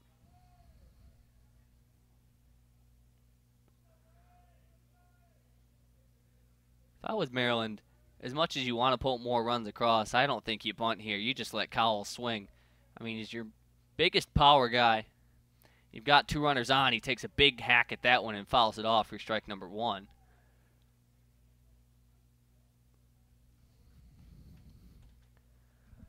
So Wood went off speed, then fastball for pitches number one and then two. Wood doesn't have crazy velocity, but like a lot of lefties, is kind of a finesse guy. Has all sorts of pitches that he can mix up. Just try to keep these Maryland hitters off balance. That's something Michigan did really well yesterday. Jacob Weston did really well. Just keeping Maryland on their toes. The 1-1 delivery, this one popped up foul over towards the parking lot. Wood out in front on the first batter, 1-2.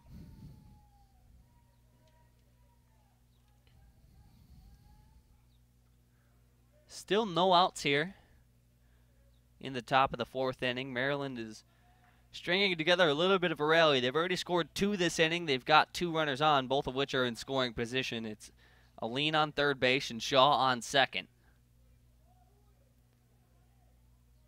The freshman nods yes to the sign now. Settles in. The big leg kick and the delivery towards home plate. Check swing. And fouled off by Benjamin Cowles.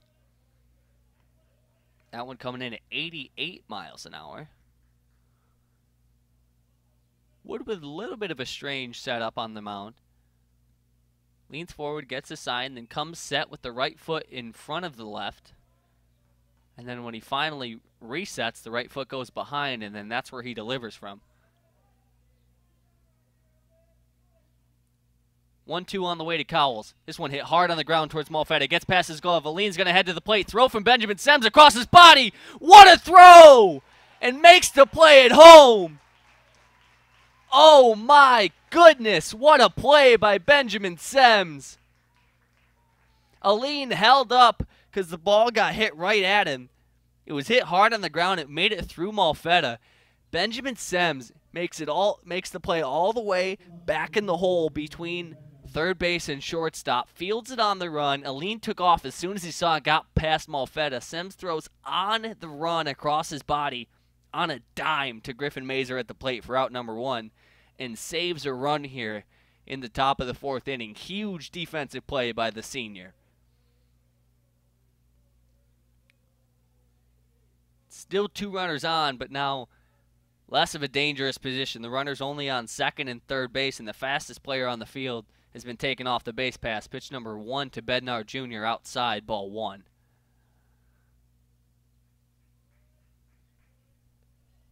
Cannot express enough how huge that play was from Benjamin Sems.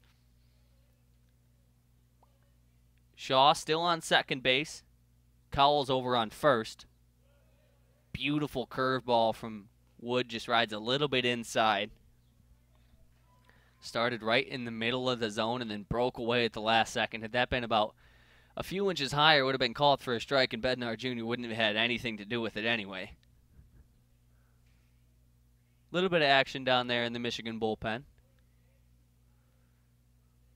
2 0 hitters count to Randy Bednar Jr. Takes a big hack at the 2 0. Change up towards the bottom of the zone, got him missing. Wood fighting his way back into this one now. The count sits at 2 1.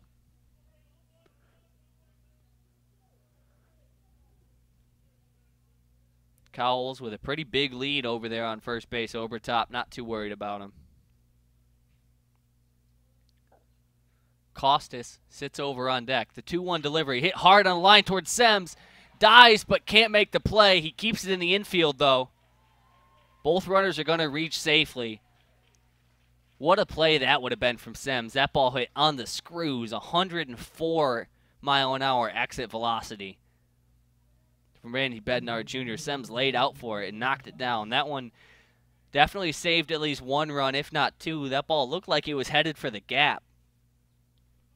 Got up and still almost made the play on Cowles at second base, but it will be one out, bases loaded for Costes here as he steps up.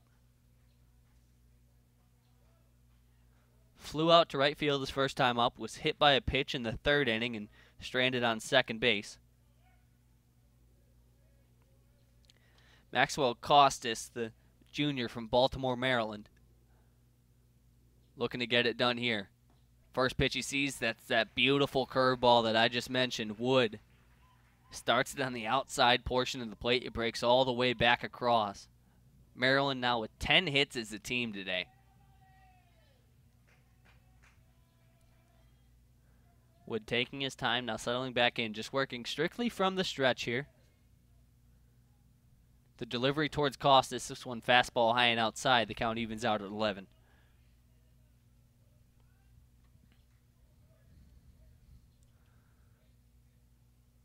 Costes sitting at six foot one, 215 pounds in that right-handed batter's box.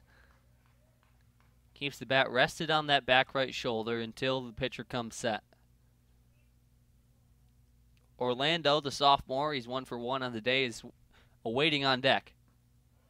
Another beautiful off-speed pitch. That one just breaking hard from right to left. Costes didn't want anything to do with that one. The count sits now one to two. All sorts of speed on the bases. Shaw has six stolen bases on the year. Cowles with eight. Bednar Jr. with ten. The 1 2 delivery.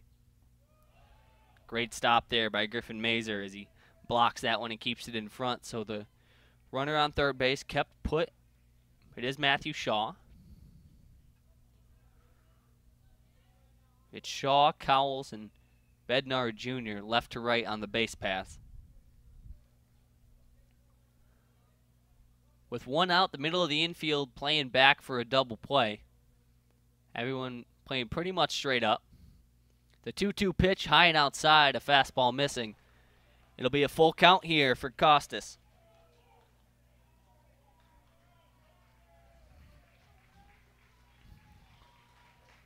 Costes knows he's going to see something he can hit here with threats of a ball walking in a run.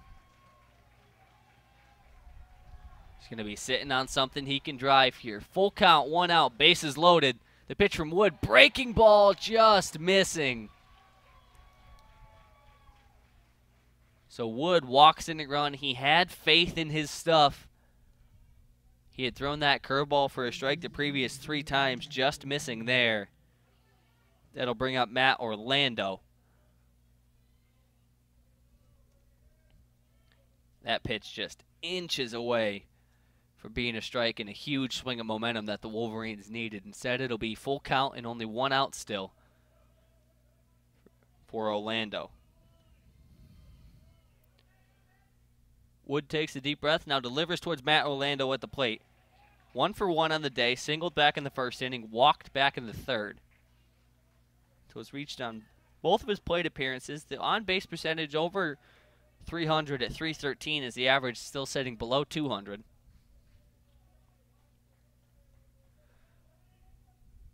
Should be mentioned, though, that While hitting only 191, he's hitting 333 with bases loaded. As he swings on this one, hits it hard back to home plate, fires back over to first base, and a double play to end the inning. Great composure there from Wood. Got the soft ground ball right back to him, fired it to Mazur. Mazur knows right what to do. Fields it like a first baseman, stretches out, then fires over to Obertop to end the inning. So we're going to head to the bottom of the fourth, but not before Maryland puts up three more and extends the lead to seven to three.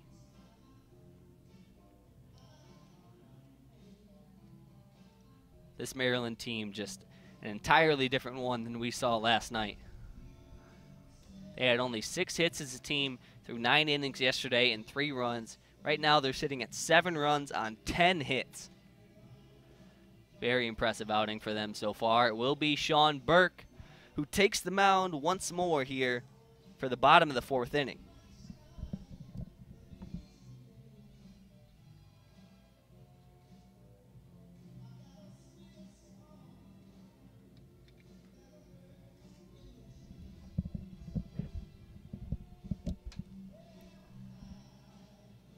After getting it done on the offensive end, Matt Shaw runs back out there towards his spot at second base. It's 5 6 7. The hottest bat in the Michigan lineup due up first. It's Ted Burton hitting 389. Burton with a 469 on base percentage as well as a 747 slugging percentage on 39 hits this year, or 37 hits rather. He's got 12 doubles, 2 triples, and 6 home runs. It seems like every time Ted Burton steps up to the plate, he's looking to hit a double. He had two of them yesterday, as well as one today in his only plate appearance.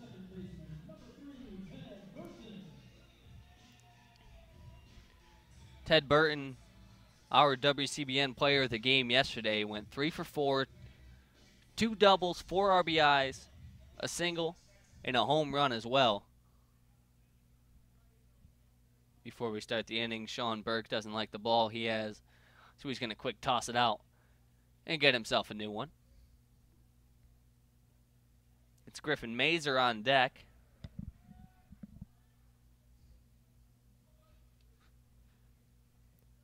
Burton settling in now. First pitch on the way from Burke. A breaking ball drops in from the top of the zone for a called strike one. Burton was just playing with a fire under him yesterday. Hit a leadoff, or had a double in his first time up. His next time up was hit by a pitch in the head.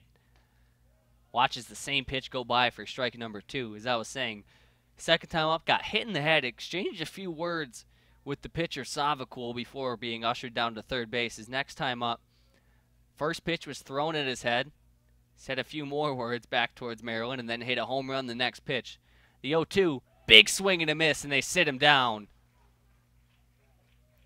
curveball, curveball, and then low and away 93 mile an hour fastball from Burke. He hit every spot that he wanted there to sit down the red hot bat of Ted Burton. That'll bring up Griffin Mazur, struck out swinging in his first time up back in the second inning.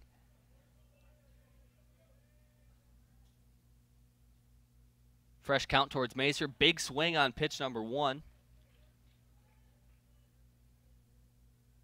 Count now 0-1. One out, nobody on. Tito Flores sitting on deck has been the hero of this game so far for the Wolverines. That three-run blast back in the second inning got us going. Mazur another big swing on an 0-1 fastball, dribbles it right in front of the plate, foul ball. So count sits 0-2. Be interested to see what Sean Burke does here. He went two curveballs and then a fastball against Ted Burton. He's now gone two fastballs against Griffin Mazur. He goes back with the fastball there. High and inside. Mazur follows it over to my right hand side.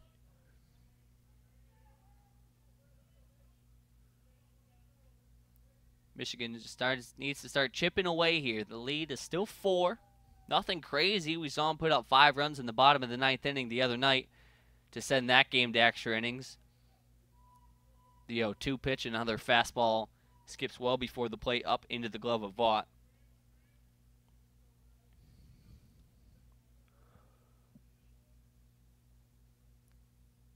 As we've mentioned a few times before, the rubber match between these two teams. Maryland took Friday night's game. Michigan took last night. The 1-2. Another fastball high and inside. He quick ducks out of the way of it. It's been all fastballs this at bat from Sean Burke.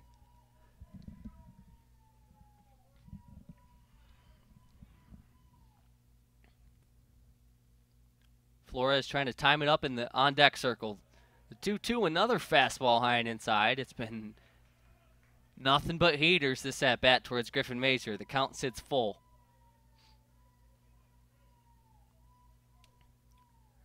Little bit of a shift. Second baseman Shaw playing deep towards the bag. Shortstop Cowles playing pretty much right between second and third base. Another fastball is fouled over my head. See Griffin Mazur just laughing like, when is this guy going to throw me anything other than that 93 mile an hour fastball?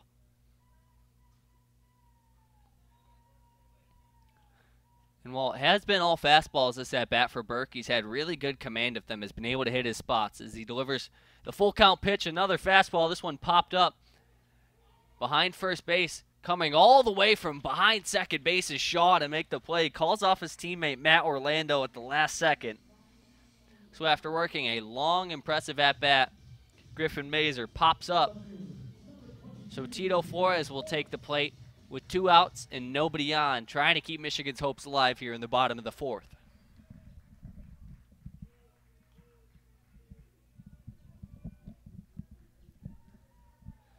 If you're just joining us and didn't see what Tito Flores did in his first time up, if you look out towards left field, that's about where that ball landed a three-run home run in his first plate appearance back in the second inning. His only plate appearance so far in this one. Pitch number one, a fastball rides inside for a ball.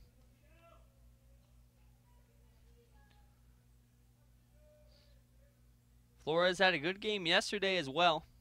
Went two for four with an RBI. He sits there crouched, waving that bat in a circle, awaiting the 1 0. Finally, something other than a fastball. It's a curveball that drops right in at the top of the zone at just 74 miles an hour for a called strike one.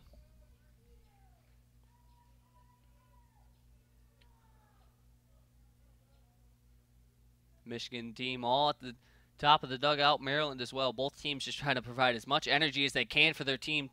Flores swings on the 1 1, pops it up towards right field, back to the track is Schreffler, and that's going to do it for the side. One, two, three inning. Maryland's going to go back out there on the offensive attack in the top of the fifth. Lead for the Terps, still four runs, seven to three sits the score. It'll be Gardner, Schreffler, and Vought, seven, eight, nine.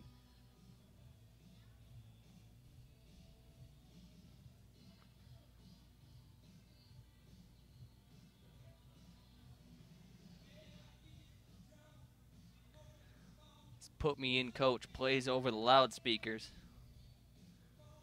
Some Michigan fans getting up and trying to stretch their legs. Some younger fans return to the stands after trying to chase after some of those foul balls that kept getting battered over my head. Don't know if they stayed in the stadium or not, as I obviously can't see behind me. Packed day for Michigan sports. Obviously, this game now, closing in on 1 o'clock, we'll probably go to about 2. Michigan softball plays a rematch against the Washington softball team out in Seattle tonight at 8 o'clock. First round, the regional round of the NCAA tournament. Double elimination. Michigan yet to tally a loss. They beat Seattle University 2 to nothing in their first game, then knocked off Washington, the 16 seed in this tournament, the number five team nationally, in a pitcher's battle between Gabbie Plain and Alex Storako yesterday. That one, a final score of two to one.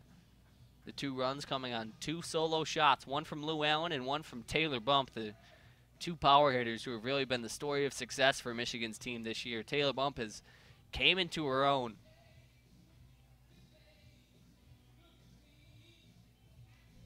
As I mentioned, 7 8 9. Gardner is due up first. Is 0 for 2 on the day. Popped up to Jimmy Obertop in foul territory his first time up back in the first inning. Struck out swinging in the third. his only two plate appearances.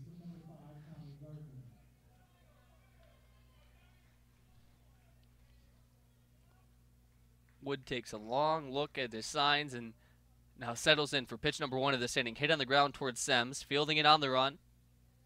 Squares his feet up and fires it across the diamond. You're not gonna get you're not gonna get too many of those against Benjamin Sems that you end up on base. And Schreffler now steps to the plate. Troy Gardner now 0 for 3 on the day.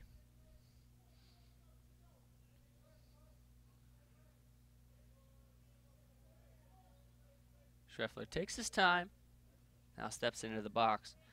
Singled and scored his last time up in the fourth inning, struck out swinging back in the second inning against Jacob Denner. First pitch, check swing, doesn't matter. Call the strike anyway. Beautiful curveball from Wood, just drops into the top of the zone.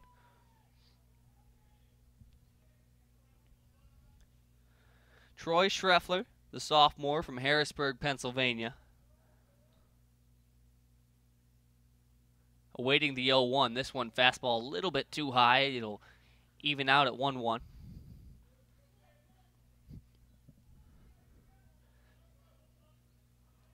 Michigan fans wearing their sunglasses as the sun has retreated behind the clouds a little bit, but still plenty bright outside. The 1-1 check swing again doesn't matter. Another called strike. The off-speed hitting here for Logan Wood.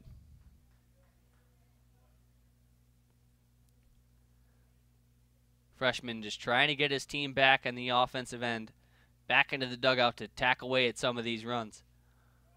The 1 2 delivery. Fastball way high and outside, overthrew a little bit there. That one coming in at 88 miles an hour, but well outside. Mazur jumps up to grab it.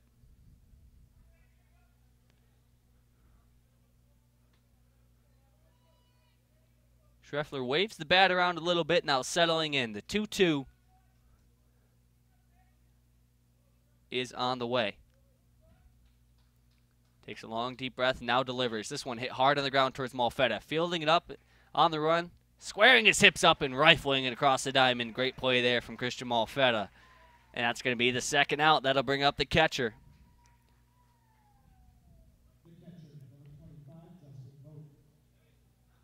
Vought stepping up now.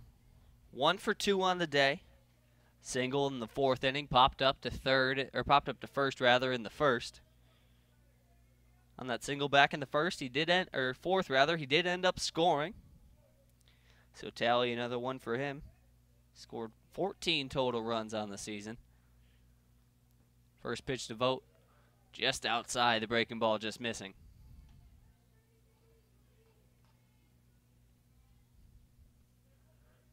You're just joining us, the lead for Maryland seven to three. They're scoreless in this inning so far, but put up three in the first inning and the last.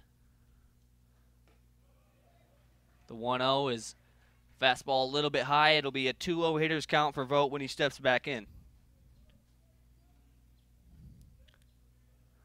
Vought had a monster game the other night on Friday night.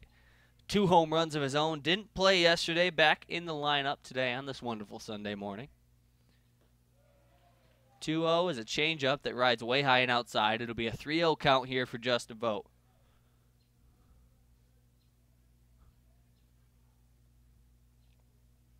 Top of the order awaiting on deck. It's Chris Alleyne. He's two for three on the day. 3-0 on the way from Wood. Infield playing well back at the edge of the grass. 2-0 green light. He rips it hard down the third base line, but well foul.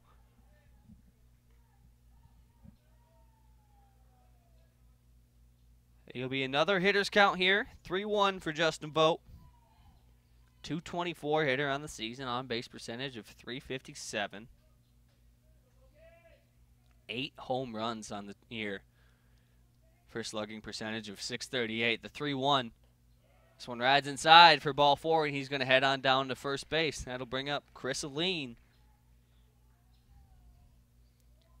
So back-to-back -back seniors trying to get it done here for their team with two outs.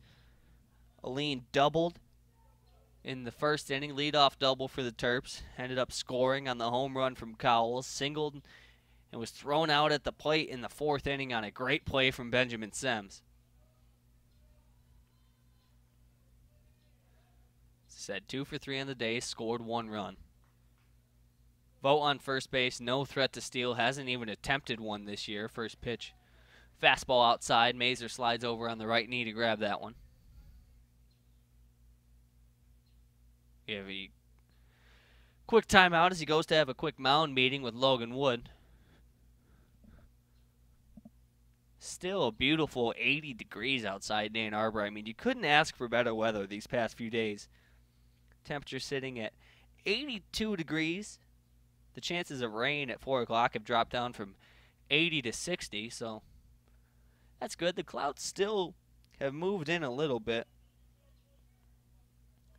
It's been strange today. They were here before the game started, then right after the senior celebrations, they went away for about two innings, and now they've came back. Mm, looks like they're here to stay.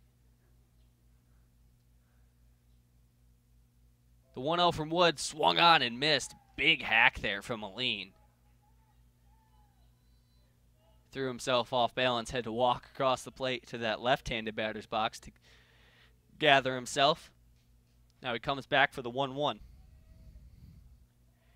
It'll be 8-9 top for the Wolverines when they get back in the dugout. The 1-1 fastball hits the inside corner. Great pitch there from Logan Wood. Took a little bit off of it and just focused on locating. He's out in front now on the senior. Freshman, senior battle here. Logan Wood, the freshman for the Wolverines, the veteran senior Chris Alleyne in the box for the Terrapins. One two pitch. Swung on and chopped foul over to Christian Malfetta. He fields it on the run, but won't matter.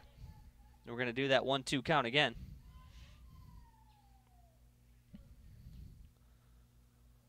Malfetta over at third base. The fifth year senior from Laguna Beach, California, graduate transfer from Stanford. It's been very good for this Michigan team all year, playing third base, hitting leadoff. The 1 2 to Alleyne. Wood went to the off speed but couldn't find a spot. It sails high and outside for ball number two.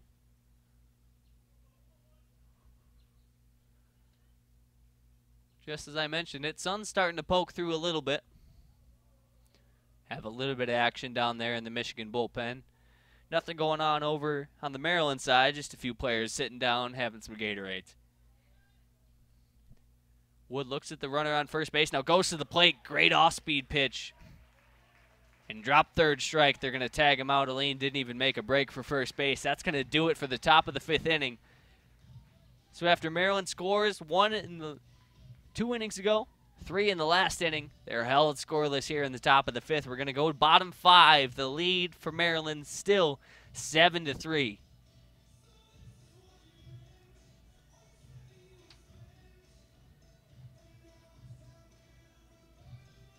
As I mentioned, seven eight, or eight nine top rather.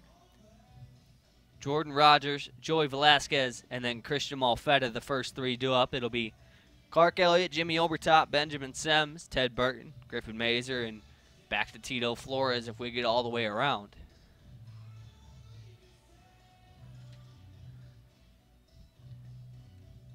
Michigan freshman Dylan Stanton sitting out there having a chat with home plate umpire Stephen Linton, giving him a quick water. It's Sean Burke again out there on the mound. The ERA has dropped back down to 410. It was 390 coming into this contest. Got as high as 419 after the three-run home run from Tito Flores. Just tuning in, we would like to thank you for listening to WCBN Sports coverage of Michigan baseball here on YouTube and over on BTN Plus. Velazquez just sitting back there behind home plate, just trying to time up Sean Burke. Both he and Jordan Rogers are 0 for 1 on the day. Rogers struck out swinging in his first and only plate appearance back in the second inning.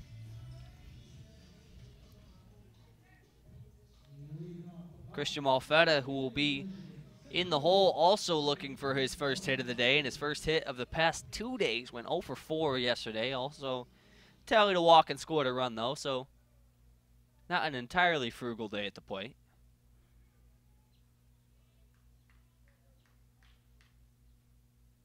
Jordan Rogers, the sophomore, taking his place in the batter's box. Burke just rolls the ball at the home plate and asks for a new one. Second straight inning, he's done that. Rogers, the redshirt sophomore from Chicago, Illinois, coming in at just five foot eight, small in stature, but plays hard nonetheless. First pitch, breaking ball that goes high in the zone for ball number one. Didn't quite break down as much as Burke would have liked it to. Rogers, a 293 hitter on the season, one home run, 17 RBIs. Takes a big hack at the 1 0. 92 mile an hour fastball at the top of the zone. Burke might have got him to chase a little bit. As I mentioned, Rogers only five foot eight, strike zone a lot smaller than some of the other hitters on this Michigan lineup. The 1 1. Check swing. They're going to look on down there to first base. First base umpire Jeff Doy says no, he did not go, so count will go 2 to 1.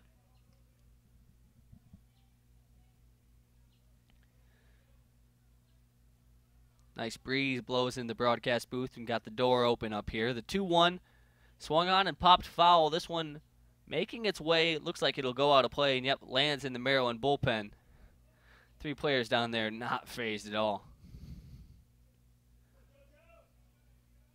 Count is even now at 2 2. Velazquez waits on deck.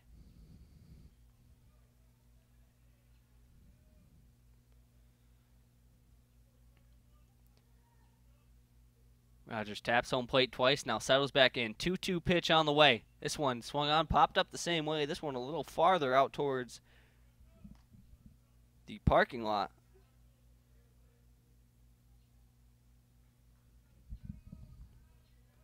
Takes a deep breath. Now settling back in.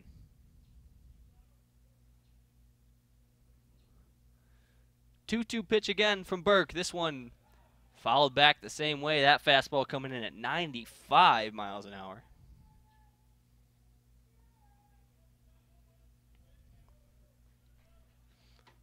Count stays at 2-2 again.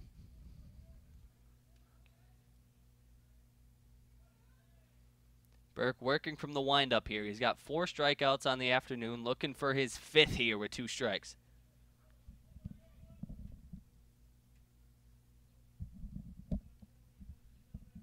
Burke nods yes to the final sign, now delivers the 2-2. This one missing low.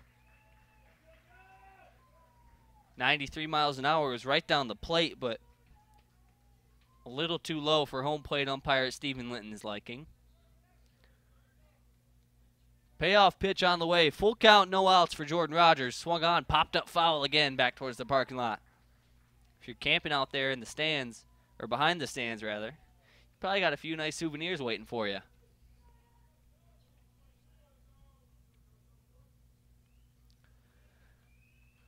Full count, no outs here for Jordan Rogers. Burke taking his time, now set to deliver. The full count pitch again rings him up looking. Fastball low and outside, just clips the plate. 94 miles an hour sends Jordan Rogers back to the dugout. His second strikeout on the day. That'll bring up the designated hitter, Joey Velazquez. Velazquez, this will only be his 18th at bat of the season. But the past few games against the Terps, he's proved his worth two hits in the Friday night game, had a double in his first time up last game as he pops one up over towards Yost Ice Arena. Velazquez, no home runs on the season, but you know he's got power due to the fact that he plays linebacker for the football team, a dual sport athlete here at the University of Michigan. 0-1 on the way. Breaking ball just misses outside, coming in at 74 miles an hour. Sean Burke's done a really nice job just changing speeds and locations to keep these Michigan hitters off balance. They haven't really been able to figure him out besides maybe Tito Flores. The 1 1 delivery to Velazquez hits this one towards center field on a line, but right into the glove of Alleyne. Put the bat on the ball and drove it well. Exit velo at 93. Just higher than the 92.59 fastball that came at him. That'll bring up Christian Malfetta. Alfetta looking for his first hit of this one. Is put two balls in play. The first one a fly ball to his right field that had some good distance on it, grounded out to second base his last time up, or third base rather.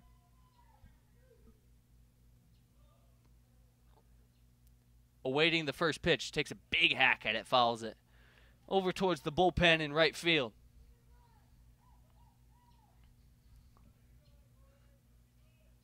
Alfetta, the graduate transfer from Stanford, was honored as one of the seniors from Team 155 today.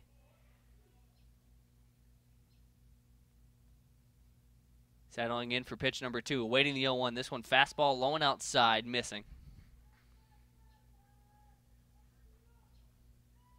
13 players, or 12 players and one manager were honored today in the pregame festivities. The 1 1 towards Christian Malfetta, high up by his eyes, fastball, missing ball two. You can see all their numbers surrounding the block M in front of the third base dugout. Painted on there in a lighter blue paint. Malfetta leaning back in his stance now, setting back up normally. The 2 1. Up by his head, he quick dives out of the way falls down as he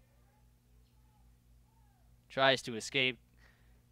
Has a few words with the catcher, Justin Vought, just to make sure he's okay. That's been a struggle for these Maryland pitchers. Yesterday we saw it quite a bit with Savacool. Just had trouble hitting his spots inside, had trouble with his command, and as a result, a lot of Michigan hitters got fastballs up and in. That's scary no matter how fast it's coming at you, but at 93 miles an hour, you don't want to catch one of those. 3 1 hitters count for Christian Malfetta here with two outs. Nobody on. He watches that one go by. Change up. Hits the top of the zone. It'll be a full count here.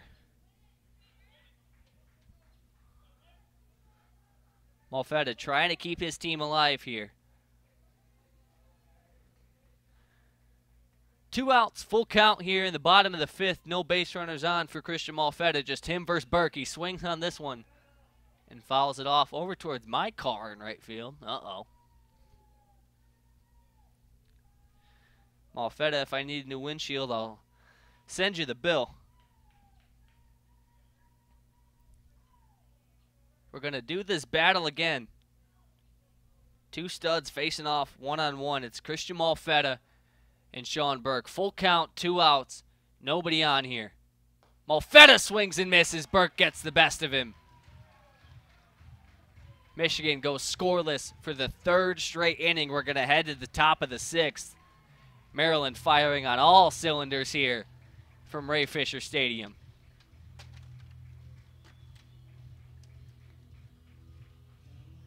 It'll be Matt Shaw, the first due up. Two, three, four. Shaw, Cowles, and Randy Bednar Jr. Shaw two for three on the day with two doubles and an RBI. Has scored both of those times. Cowles one for three, but his one hit was that monster two-run slam. Bednar two for three with a home run as well.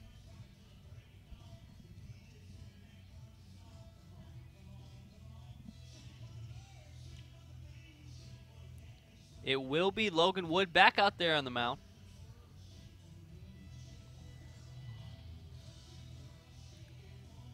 Wood just showing off his off-speed stuff up there on the mound between innings. If you're just tuning in, we would like to thank you for listening to WCBN sports coverage of Michigan baseball live here from Ray Fisher Stadium.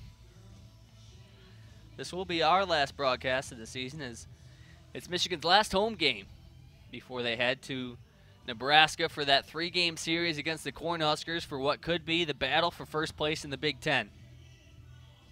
Throw down from Griffin Mazur comes, and home plate umpire Stephen Linton makes his way back to his position, and looks like we're ready to go here.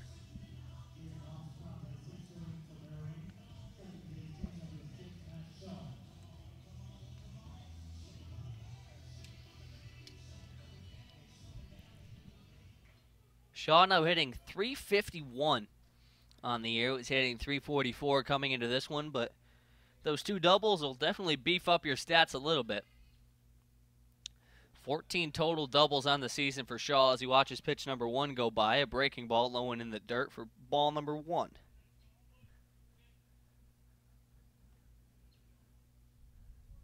Wood coming set. Now delivers that high leg kick, putting an extra little bit of power behind that. 86 mile an hour right down Broadway for a called strike one. The count is evened out to 1 1. Cowles awaits on deck. The 1 1, a breaking ball that got Shaw guessing, but he didn't pull the trigger and skipped up into the glove of Griffin Mazur. So Shaw, although he got caught off balance, doesn't get punished for it. The count 2 1. Wood delivers. Gets him off balance again. That one a strike catching the outside corner. Shaw kind of shuffled his feet there. Logan Wood doing a really nice job of just mixing up spots, keeping these Maryland hitters on their toes. The 2 2 gets him swinging way off balance for strike number three. Strikeout number one for Logan Wood, or number two. Sorry.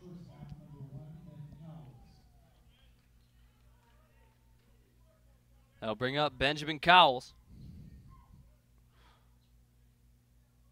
One for three on the day. That two run home run back in the first inning that we've mentioned so many times. Really got the ball rolling for Maryland. they put their foot on the gas early and haven't let up. Seven runs on 10 hits. You watch his pitch number one go by a fastball missing just outside for ball number one.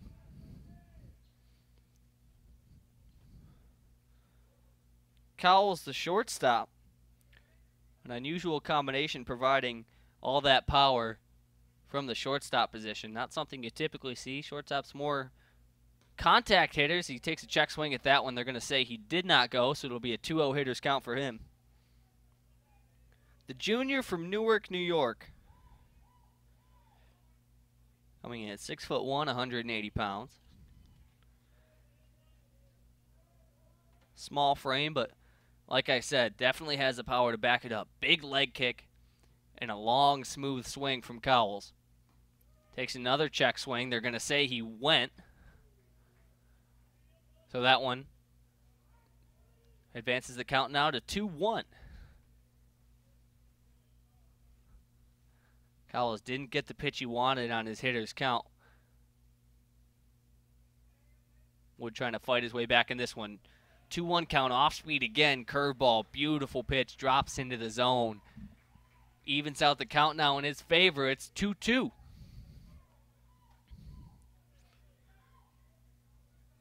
Michigan just wants to keep Maryland scoreless as much as they can for the rest of this one. Chops it down towards third. Malfetta fields it backhand on the run, fires across the diamond. Beautiful play from Christian Malfetta. That's tough no matter who you are. Malfetta came up, backhanded it on the move, clean transfer, replaced the feet, and fired it over there to get Cowles. Cowles has plenty of speed on the base pass, so not an easy play. With two outs and nobody on, Randy Bednar Jr. steps to the plate. Two for three on the day. A solo home run back in the first inning, a single in the fourth was left stranded on second base. He waits the first pitch. He throws a check swing at it. Doesn't matter. It's called strike one anyway. Michigan fans getting into it a little bit here. A little bit more energy is being supplied from the crowd.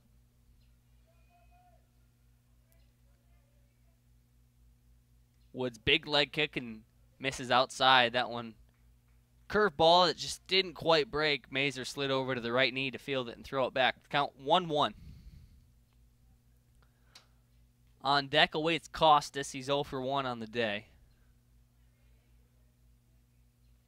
Yeah, two players walking down towards the Maryland bullpen.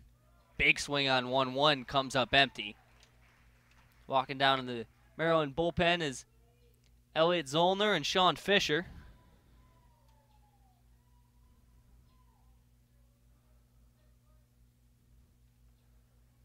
Bednar taking his time. Taking a few practice swings. Now cocks the bat over that back right shoulder. The delivery from Wood. Breaking ball high in the zone. Misses for ball number two.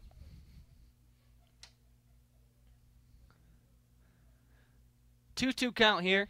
Two outs, nobody on. Bednar really just fighting for himself here.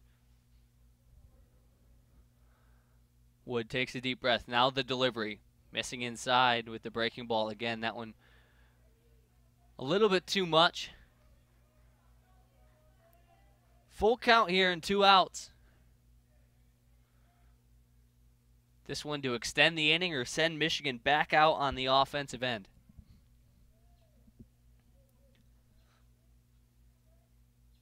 Wooden leans forward to get his signs. Says yes, comes set now. The payoff pitch on the way. This one rides inside for ball number four. Bednar works a walk. That's going to bring up Costes. The inning continues. Maxwell Costes flew out to right field his first time up. His second time up in the third inning was hit by a pitch left stranded on second base. His last time up in the fourth inning worked a walk for an RBI. It was walked with bases loaded.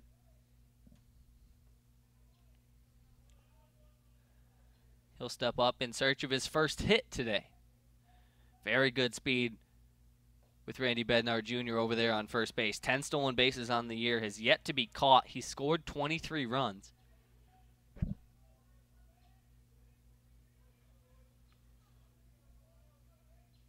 Wood taking his time now. Coming set, looking over at the runner on first base. Now delivers home. That one is just under 81 miles an hour, well outside. Mazur did a nice job sliding over to it on the right knee to keep the runner on first base and out of scoring position. It's a 2-1 hit or 2-0 hitters count here for Maxwell Costes. On deck is Matt Orlando. 2-0 pitch. He throws over to first base. Bednar Jr. back with plenty of time. The wind has died down a little bit. The big American flag in left center field has stopped moving quite as much as it was earlier. It was blowing around quite a bit towards the start of the game. The 2-0 hitters count pitch, big swing from Costes. He fouls it down into his own foot.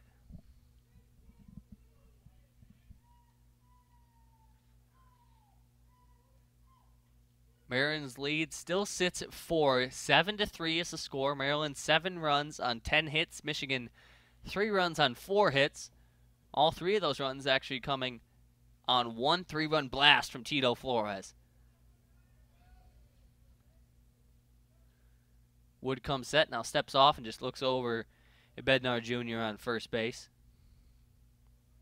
Flashback to those three Michigan runs. Benjamin Sems had the single to start it. Ted Burton with a double to put the runners on second and third, and then Tito Flores two batters later with that three-run homer, as I just mentioned. Costes dribbles one down the third base line in foul territory. Malfetta fields it and tosses it over to Jake Marty in the Michigan dugout. Michigan just tossing it around a little bit. Everyone getting involved. Jake Marty to Cam Hart, who tosses it over to somebody under the awning.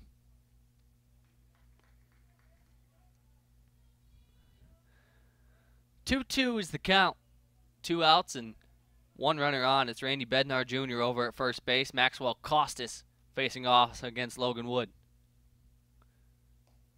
2-2 missing inside. Mazur pins it with the glove against the ground. It's another full count.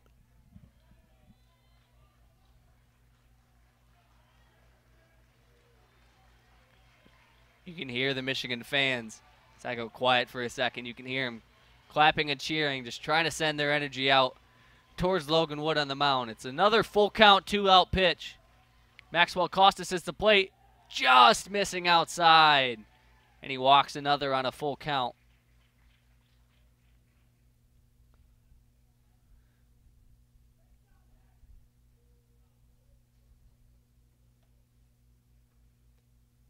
There is some action in the Michigan bullpen. All sorts of players stirring down there as Coach Erik Bakich comes out to have a meeting on the mound.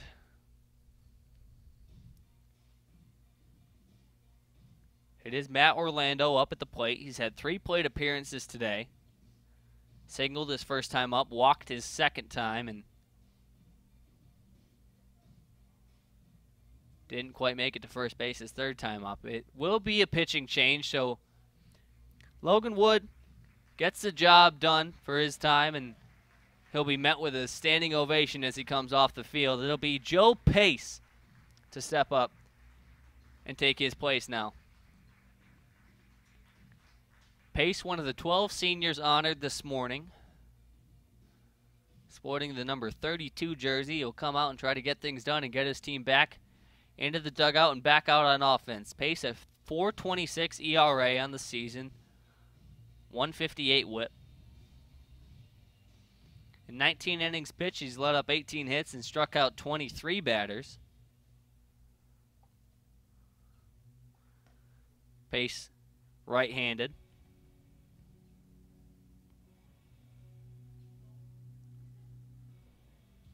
It will be Orlando, as I said. Six, seven, eight will be the first batters that Joe Pace faces. He has runners on second and third, neither of which are going to go down on his sheet. Both of those will be accredited to Logan Wood. Joe Pace coming in at five foot nine, 200 pounds. The senior from Valley Village, California.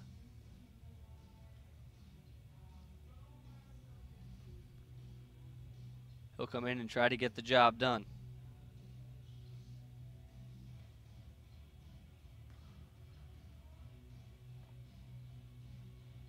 Still some action down there in the Michigan bullpen. The Maryland bullpen all but quiet down there. They're going to let their guy, Sean Burke, keep rolling. And I mean, why wouldn't you? Aside from that one inning, he's looked pretty much unstoppable. Michigan throws the ball around the infield a little bit, just trying to stay loose. If you're just tuning in, we'd like to thank you for listening to WCBN Sports coverage of Michigan baseball. Beautiful day here at Ray Fisher Stadium. Looking across at the empty alumni field, Michigan softball team is out in Seattle right now. They're 2 0 at the start of the NCAA tournament. They face off again against Wisconsin or Washington rather in a rematch of last night's contest. The Wolverines came home victorious with a score of 2 to 1. They got to go right back at it today. It'll be most likely Megan Beaubien on the mound. She threw a no-hitter in their first game of the tournament. Alex Storako threw last night. And here we go. It's Bednar Jr. on second base, Maxwell Costes on first base, neither of which are accredited to Joe Pace. First batter, though, go down on his scorecard, Matt Orlando, who's at the plate right now. First pitch, a 91 mile an hour fastball that skips up into the chest protector of Griffin Mazur.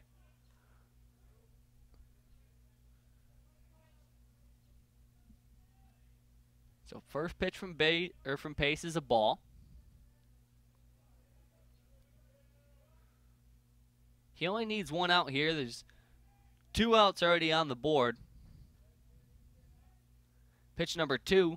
Fastball hits the inside corner. That one just under 92 miles an hour. Pace, more velocity than Logan Wood had.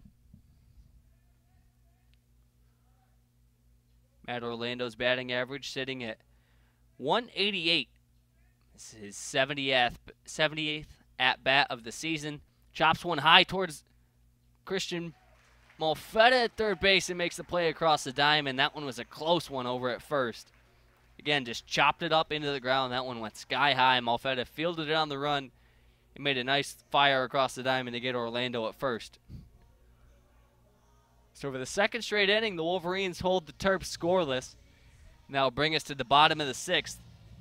Clark Elliott's due up first, then Jimmy Obertop and Benjamin Sems.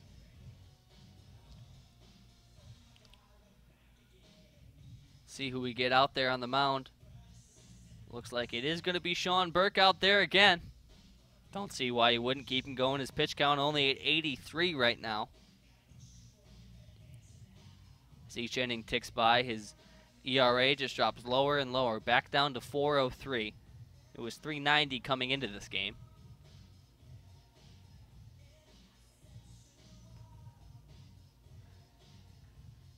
Umpires congregate behind second base. Just have a quick chat. Clouds have once again dissipated and the sun shining true here at Ray Fisher Stadium. Beautiful day for some baseball. 83 degrees and sunny. As you look at the weather, the chances of rain just get lower and lower as the day goes on. Originally, it was 80% at 4 and then 100 onward. Now it's down to 60% at 4 and 90 after that. Game obviously got moved up to 11 a.m. and fears that the game would get rained out if they started at 1 o'clock.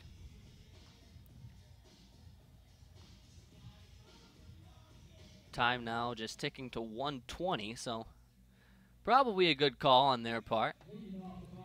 But here we go. It's Clark Elliott, the first Wolverine due up. 0 for 1 on the day, lined out to left field. Back in the first inning, walked and was stranded on third base his last time up. Jimmy Obertop awaits on deck.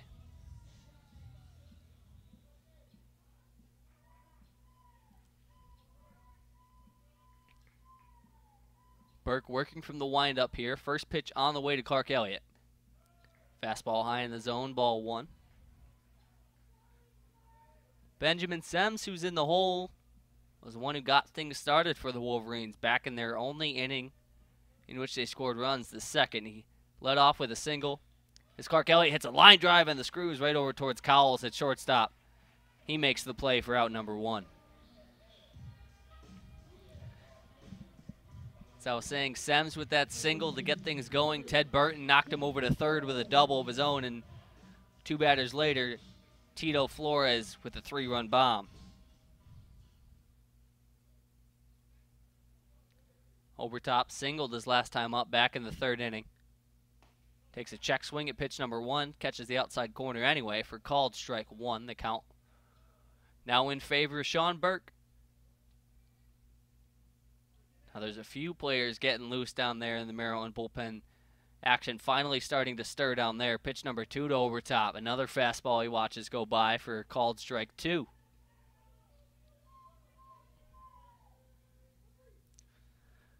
Willie Weiss getting a little bit of action down there in the Michigan bullpen. 0-2 on the way to Obertop. This one high up towards his eyes. Another fastball. This one called a ball, though, so the at-bat will continue. It's a 1-2 count.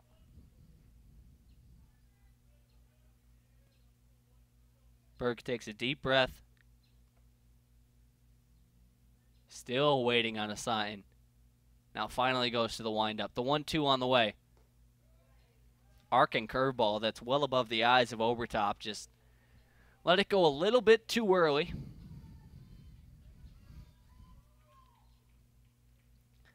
Benjamin Sems waits on deck. Ted Burton in the hole. Two of the hotter bats in this Michigan lineup. Burke with a much quicker delivery now on the 2-2. Big swing from Obertop. Follows it back into the glove of Vought. And he squeezes it up tight for out number two. Sean Burke practically unhittable right now. Two up, two down for the Wolverines. Sems going to have to take his spot in that lefty batter's box right now to try to get his team going. As I mentioned before, Sems the six foot three, fifth year senior from Chesterfield, Missouri, the transfer from Kansas. Watch his pitch number one go by. Fastball at 91 miles an hour on the outside half for a called strike one.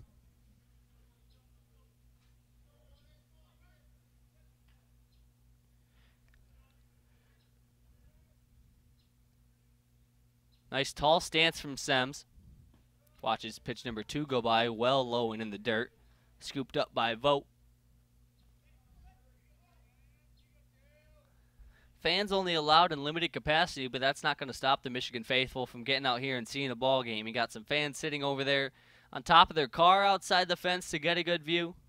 Some other fans just sitting right up by the fence. Sems hits this one on the screws over towards face first baseman Matt Orlando, but right at him. I mean, that ball was absolutely scorched. Exit velocity of over 101 miles an hour. Sems couldn't have hit that ball any better if he tried. Had Orlando been playing anywhere else but practically right there, that one's at least a double. We're going to head to the top of the seventh inning, though.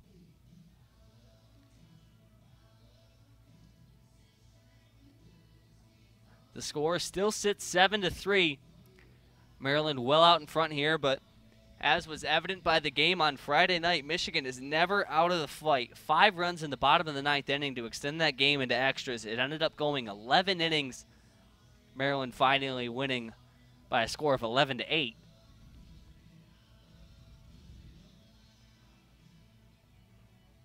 It'll be Joe Pace back out there on the bump for the Wolverines.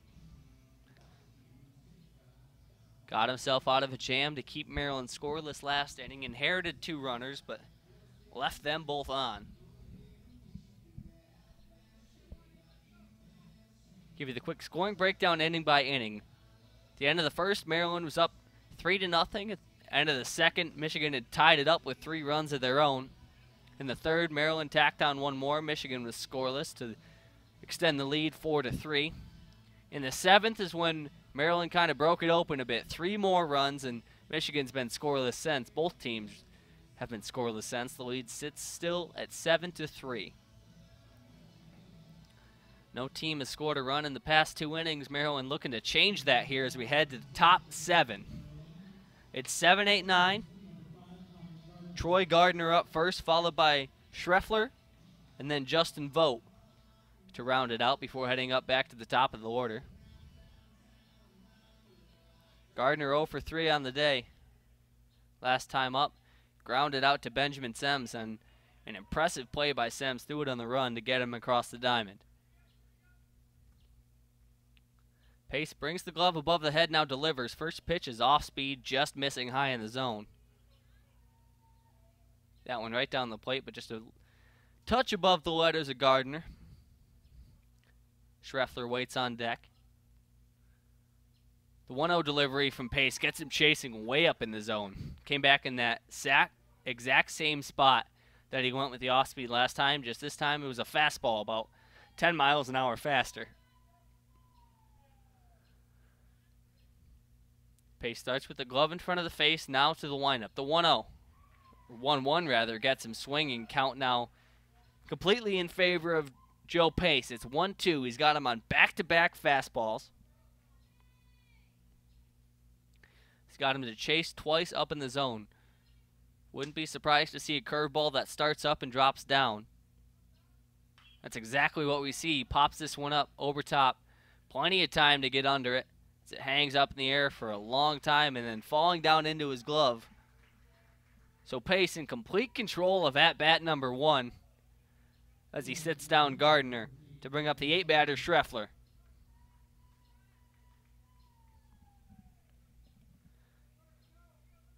Schreffler, one for three on the day, singled in the fourth inning and scored. That was his only productive inning at the plate. Struck out in the second, grounded out in the fifth. Fresh pitch delivery from Joe Pace, a breaking ball that stays high in the zone at 77 miles an hour for ball number one.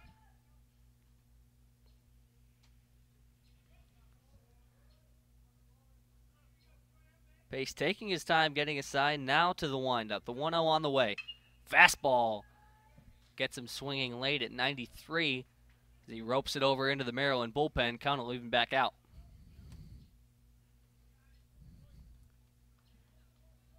As I step from the comfort of my box over towards the open door, you get to feel the true heat of the ballpark right now at over 80 degrees here in Ann Arbor. The 1 1 from Pace. This one skips well in front of the plate up into the glove of Griffin Mazur. Breaking ball that he let go just a little bit too late. Nobody working down in the Michigan bullpen. Maryland's got about six or seven guys down in theirs, but nobody's actually throwing. They're kind of sitting around shooting the breeze. 2 1 delivery from Joe Pace. Gets him swinging again well late on a fastball. That one, the fastest pitch pace is thrown at 93 and a quarter.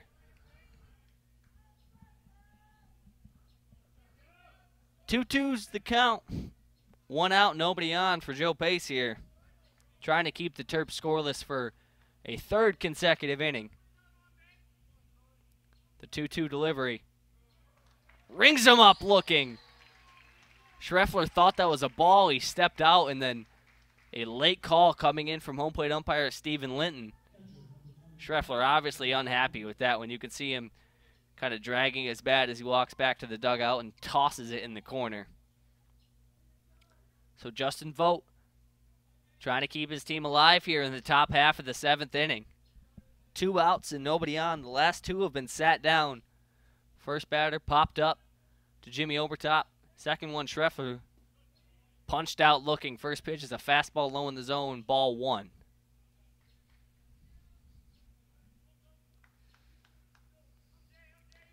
Hear the birds chirping outside as well as the Michigan players from the dugout. The 1 0 pitch from Joe Pace. This one again high in the zone. New fastest pitch from Pace at 93 and three quarters at just under 94.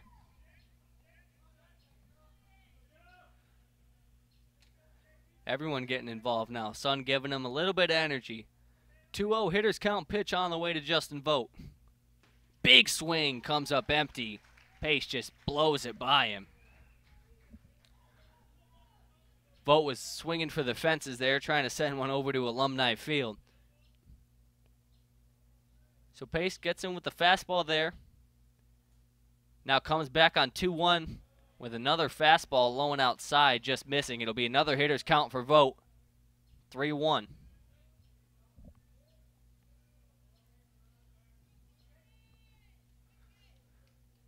On deck, Wade lean the leadoff batter. He's two for four on the day.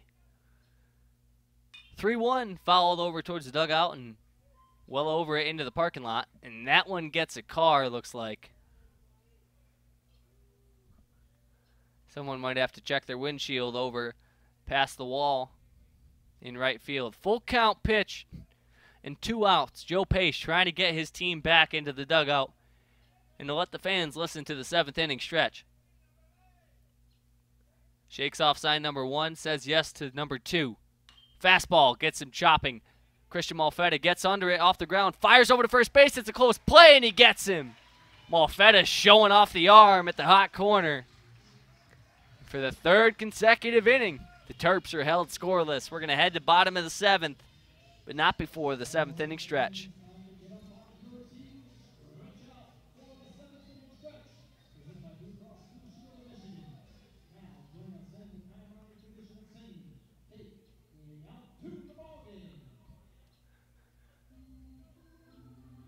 This game moving right along now. It's still timestamp, still under two hours as we're heading into the seventh inning stretch. It will be Sean Burke, the starting pitcher for Maryland, back out there for now his seventh inning of work. His pitch count only at 93. He's been incredibly efficient and has been really efficient in just shutting down these Michigan hitters. It's going to be Ted Burton, the hottest bat in the lineup, followed by Griffin Mazur and then Tito Flores. Flores responsible for all three of Michigan's runs right now. That three-run homer back in the second inning. Burton one for two on the afternoon. Doubled and was scored off the homer by Tito Flores in the second. Struck out swinging in his last time up. Saw two straight breaking balls that landed just at the edge of the zone for called strike ones and two and then took a big hack at the 0-2, a fastball that Sean Burke just blew by him.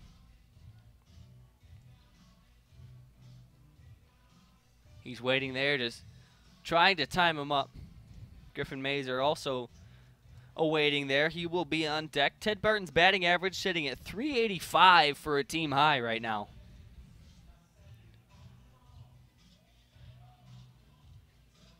As the sun has come out, some fans have moved from out under the awning just to try to get a little bit of sun. Some have their umbrellas to block it, but can't escape the heat. 83 degrees here in Ann Arbor right now. It's only going to get hotter. This week, Tuesday, it's supposed to get up to a high of 88. Definitely starting to feel like summer as we move further and further into May and closer to June.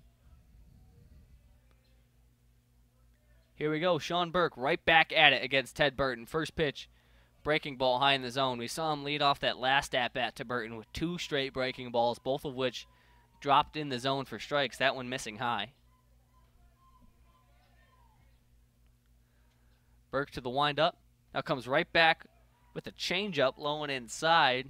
It's going to be a 2-0 hitters count here for Ted Burton. This is a dangerous situation to be in if you're Sean Burke. With a bat as hot as Ted Burton's up at the plate right now. 2-0 on the way. Missing outside. and It's going to be 3-0 hitters count now for Ted Burton.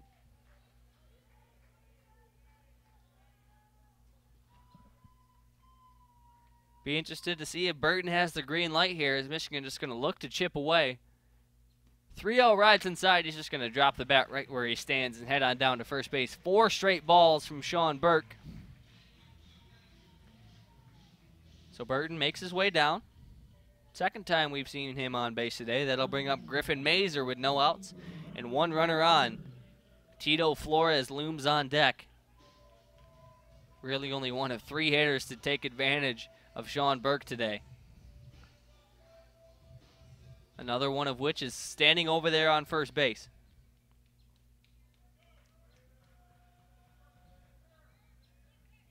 Mazur struck out swinging his first time up, popped up in foul territory, takes a big swing at this one and absolutely launches it down the left field line, but well foul. That ball probably cleared the left field fence by a good 30 feet, but it also cleared the edge of the stadium by a good 50. That one, as I said, well, well foul. So nothing but a long strike, exit velocity of over 106.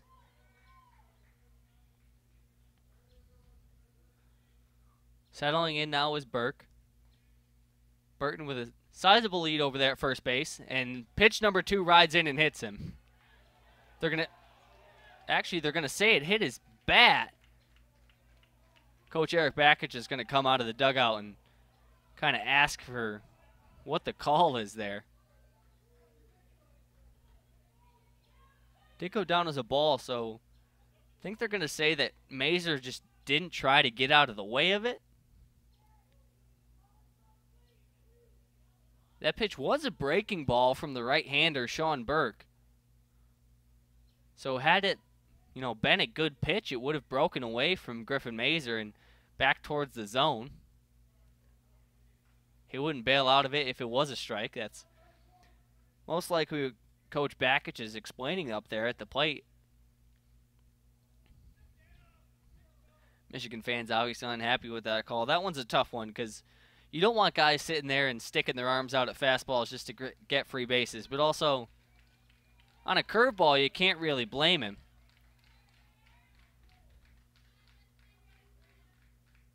So after wearing one off the front left arm, Mazur's going to have to stick it up in there.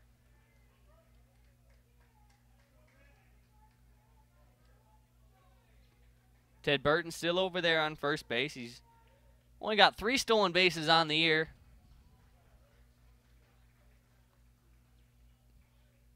Mazur sitting with a 0-2 count, rather. Still confused about that last call. He faces the 0-2, watches it for a called strike three. Michigan fans in the stands unhappy with that one. Griffin Mazur himself visibly frustrated. Coach Bakich gives him a slap in the back as he walks back into the dugout and looks like we might have a pitching change. Looks like a meeting on the mound. He's Sean Burke now at 100 pitches, so he's getting towards the end of his rope. Don't know how much farther he'll go.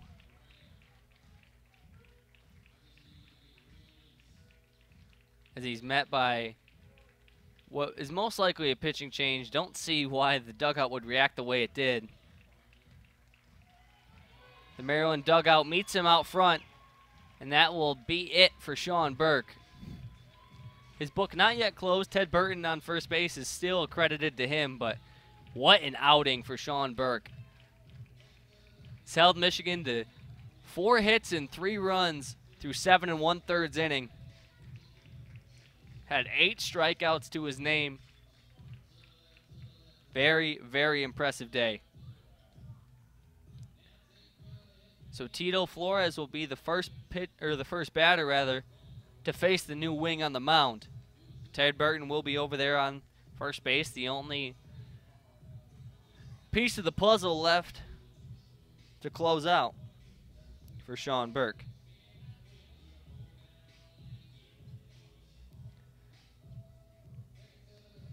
Give you the quick pitching substitution is going to be Elliot Zollner.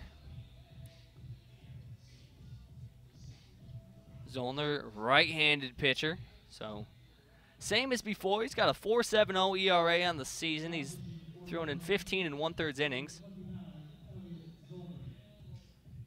Struck out 20 batters, giving up 14 hits.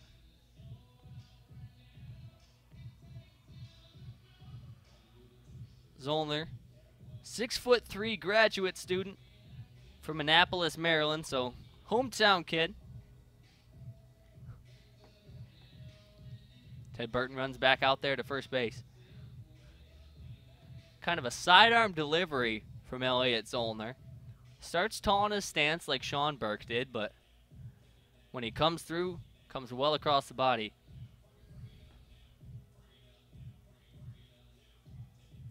Flores, as mentioned, will be the first batter to face him. Jordan Rogers on deck.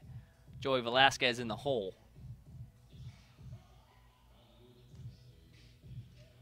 Flashing back to that at bat with Mazur, that's got to be frustrating. On an 0 1 count, was hit by a pitch that the umpire then ruled a strike and then struck out looking on a breaking ball the very next pitch.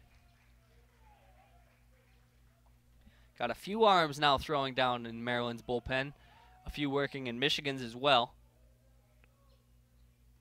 Both teams going to be fighting tooth and nail for this one. A very important win for both teams.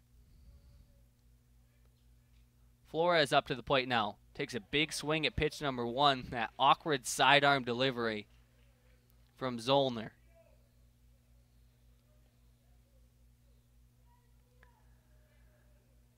Burton, as mentioned before, three stolen bases on the season. Has a pretty close lead there. Now takes an extra step to extend it a little bit. Takes a few hard steps, and Tito Flores hits this one hard on the ground. It's going to be a double play from Maryland to end the inning. Zollner comes in and retires the side in very efficient fashion. Zollner comes in, gets two outs on two pitches. And that's going to bring us to the top of the eighth inning. The lead for Maryland still four. Both teams scoreless in the last three innings. Michigan scoreless in the last five.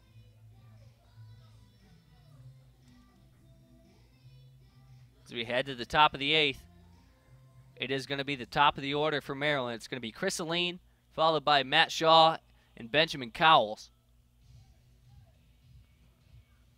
Senior, freshman, and junior, respectively. And we are going to have a new wing on the mound for the Wolverines. It's going to be Willie Weiss back out there. Number 20, Willie Weiss. 295 ERA, 21 and one thirds innings pitched, 32 strikeouts on the season. Weiss, a familiar name in the Michigan program. Going to try to get it done for his team here.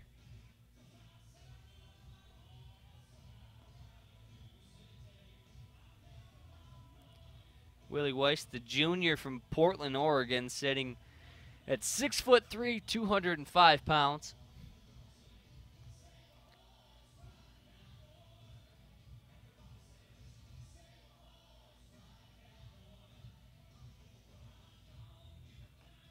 Alleyne sitting over there, situated as a lefty. He's listed as a switch hitter, but we've only really seen him in that left-handed batter's box. So it'll be lefty, righty, righty to start. The Maryland lineup actually, besides the switch hitter and Alleyne, entirely righties. So at least Willie Weiss will see something consistent up there at the plate. And looks like we're set to go. Weiss takes a long walk around the pitcher's mound, now settles back in. Alleyne, two for four on the day with a double and a single. Doubled and scored his first time up. Popped up to shortstop Second time up, single and was thrown out at the plate back in the fourth inning and then struck out swinging in his last time up in the fifth is Willie Weiss. Gets a strike past him take advantage in this count. It's 0-1. Pitch number two on the way to Alleyne. Gets him swinging. Alleyne way off balance there. Nice right to left movement there. Or left to right, rather, from Willie Weiss. The 0 2 swung on and missed. And Griffin Mazur's going to just pick it up and throw it down down to Jimmy Obertop. That's the second consecutive strikeout for Chris Alleyne. So Weiss out to a good start here in his first inning of work. Three straight strikes and one out on the board. Shaw two for two or two for four rather on the day with two doubles, a hot bat in this lineup right now. Scored on both times he reached base. He swings on the first pitch, grounds it over towards Benjamin Sems, throws on the run, pick from Obertop. Great play by Sems to get over to it. The throw wasn't as great, but his teammate Jimmy Obertop bails him out. Great scoop. Stretches out to get it, and so four pitches in, we're already two outs into this inning. That'll bring up Benjamin Cowles. Willie Weiss very effective in his first inning of work.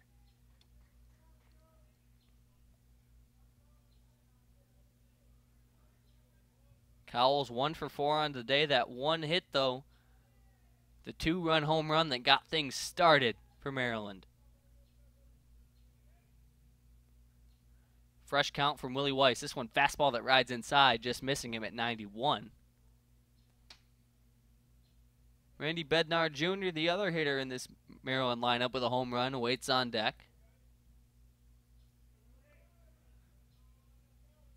Cowles, the shortstop, is provided on both ends for the Terps today as he throws down a check swing. They're going to say he went. So count goes 1-1. He's provided some impressive defensive play at the shortstop position, as I said. Made a couple running throws. He's caught a few scorching line drives right at him. 1 1. He shows bunt, tries to lay one down. This one perfectly placed all the way down the line, just goes foul at the last second.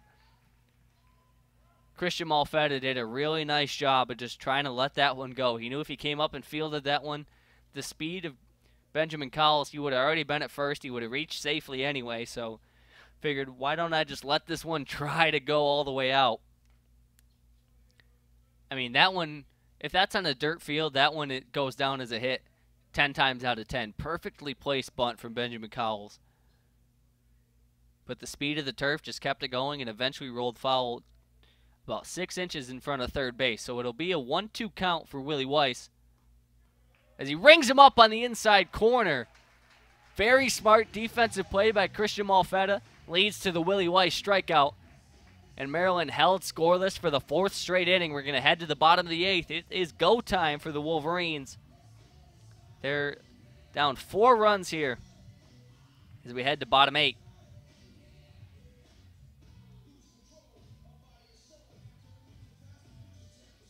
Out there on the mound will be Elliot Zollner. And it'll be Jordan Rogers up first. He's 0 for 2 on the day with two strikeouts. Struck out swinging in the second inning, struck out looking in the fifth. Looking to get on base for the first time.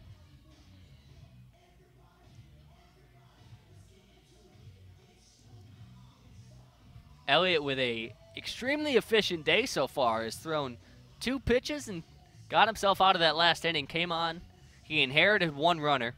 There was one out and a runner on first base. He threw one pitch to Tito Flores that was fouled off. And then the second pitch was a ground ball to shortstop. Maryland did a really nice job turning a routine double play to get both runners. So I'd say Elliott's Elliot Zollner's pretty much as fresh as you're going to get him. 8-9 top, Rogers, Velazquez, then back up to Malfetta at the top of the order for this one.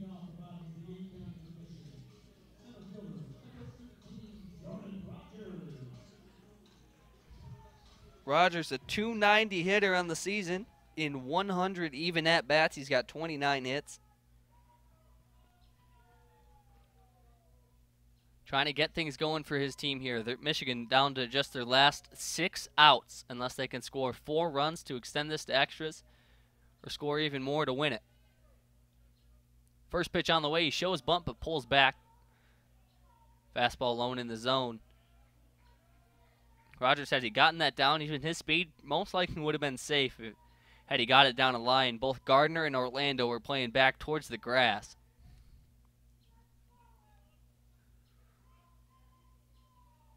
Or I guess edge of the infield, rather. With this being turf. Zollner throws that one well across past Vought and all the way back to the backstop. As you mentioned before, Elliot Zollner has this completely sidearm release. But he stands tall, throws across his body, resulting in it have a lot of lateral movement.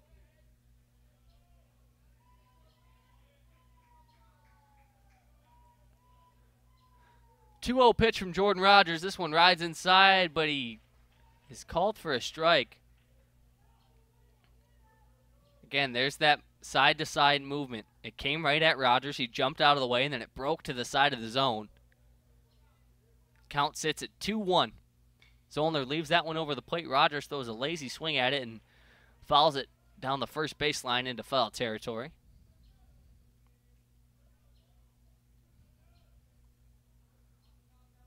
Rogers fixes his grip at the bottom of the bat now, takes a deep breath and steps back in. Joey Velazquez awaiting on deck. Michigan needs to get something going here. Down four runs still. This one again, well across the body of the catcher Vought. Zollner looked really good in that last inning. Only threw two pitches, got those two outs as we said. But I guess you can't really judge in a sample size that small. Action in both bullpens right now. Could potentially see some closing pitchers comes in and Rogers waves at that one. Beautiful slider from Zollner. That one coming in at 77 miles an hour. Moved all the way across the plate. That pitch had to have moved at least two feet by the time it got there. Just almost unfair. Elliot Zollner works from that far left side of the rubber and like I said, that sidearm motion has a lot of lateral movement as it is. When you throw a pitch like that designed to move side to side, his pitch number one goes high and outside. It's going to be really hard for hitters to read. Velazquez out early in this count, 1 0. Christian Malfetta waits on deck. Big swing from Velazquez comes up empty. The count's going to even out 1 1.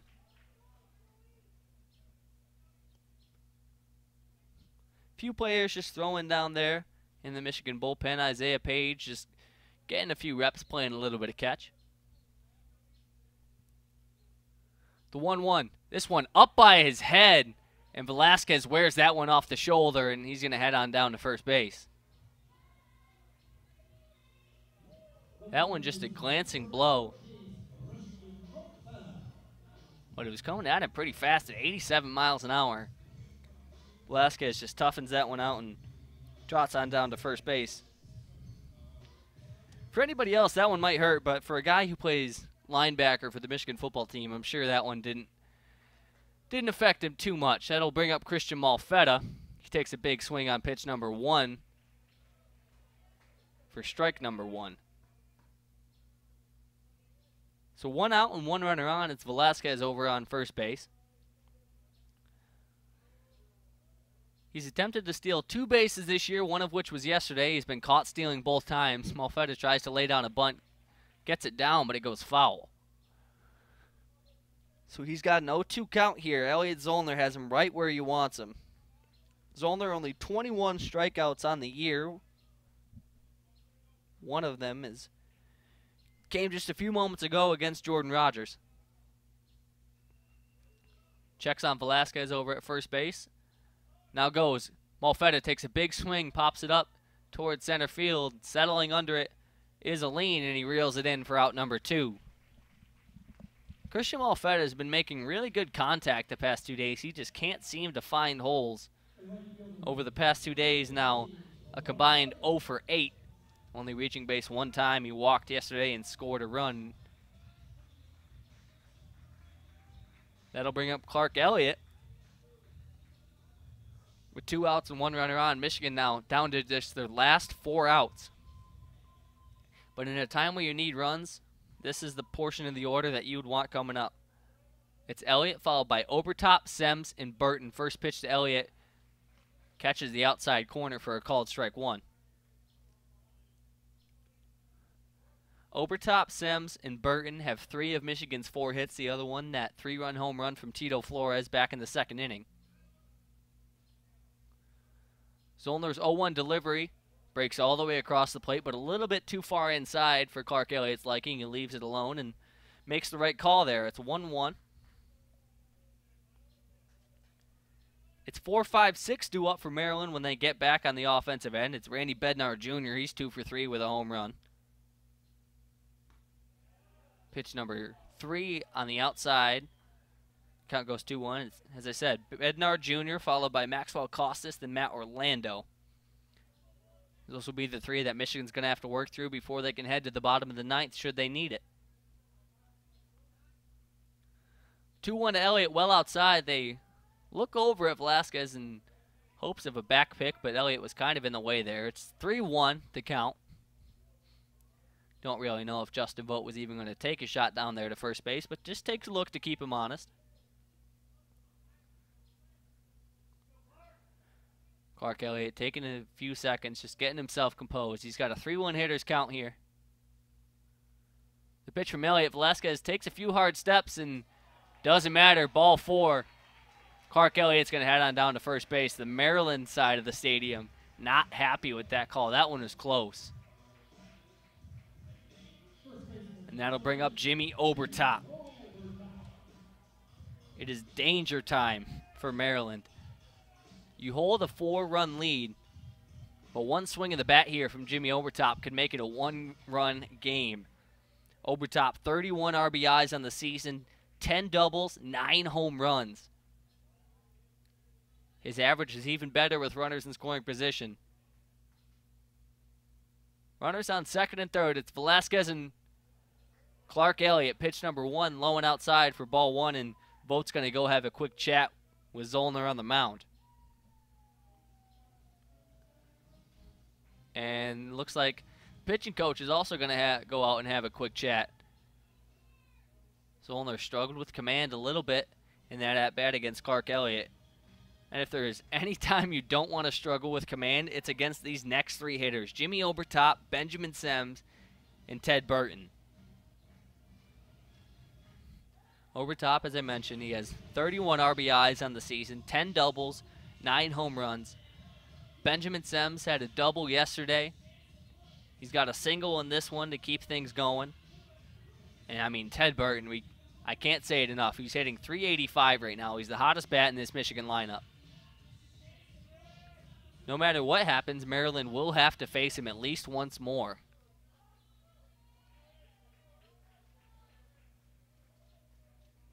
The 1-0 to Obertop on the way. Big swing way out in front of it. Zoellner got him with the breaking ball there. Jamie Obertop just has to stay composed here. Like I said, one swing of the bat could make this a one-run ball game, but also if you go out swinging, you only got three left. Elliott Zoellner looks towards second base now, delivers the 1-1 and hits the outside corner, called strike two. So Obertop going to have to protect here. Don't want to go down looking, especially in a position like this. Seven to three is the score here in the bottom of the eighth inning. Michigan down to just their last four outs. Runners on second and first with Jimmy Obertop at the plate, a 1-2 count. Elliot Zoellner checks second, now delivers. Big swing from Jimmy Obertop. And Elliot Zoellner sits him down. Beautiful pitch. So much movement. Moved it completely across the plate. I mean, coming at him, that pitch was inside on Jimmy Obertop and then breaks away at the last second. Obertop misses over top of it. So we're going to head to the top of the ninth. Maryland has four, five, six, before the rest of the order. Michigan will have four, five, six when they get up in the top of the ninth, or in the bottom of the ninth, rather. So the meat of both of these lineups is what we're going to see. It's going to be an exciting finish. It's Willie Weiss out there on the mound. Michigan has gone through a few pitchers today. Jacob Denner, Blake Beers, Joe Pace, and now Willie Weiss out there on the mound for his second inning of work. Michigan freshman Dylan Stanton shares a few quick words with home plate umpire Stephen Linton.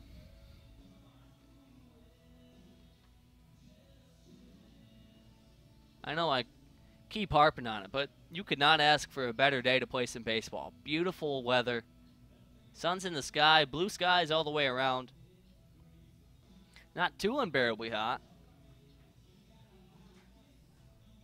Weiss throws down his last warm-up pitch. Mazur delivers a strike to second base, and we are set to go. Bednar Jr., Costes, and Matt Orlando. The first three due up for Maryland before Michigan can get back on the offensive end in the bottom of the ninth inning. They need four to tie it if they keep Maryland scoreless here, and five to win. Four or more, really.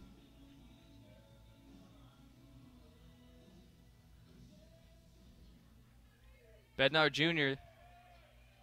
homered in the first inning, singled in the fourth, walked his last time up.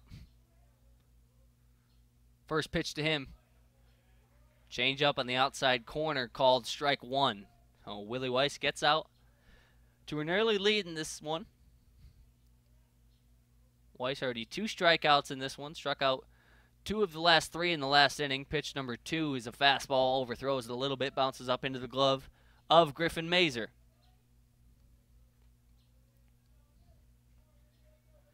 Still action in both bullpens. Looks like it's David Falco down there from Maryland. Weiss again missing outside. That one up near 90. Count sits at 2-0, or 2-1 rather. No outs. The leg kick from Weiss delivers and hit hard down the line, but it's going to go foul. The count will be 2-2.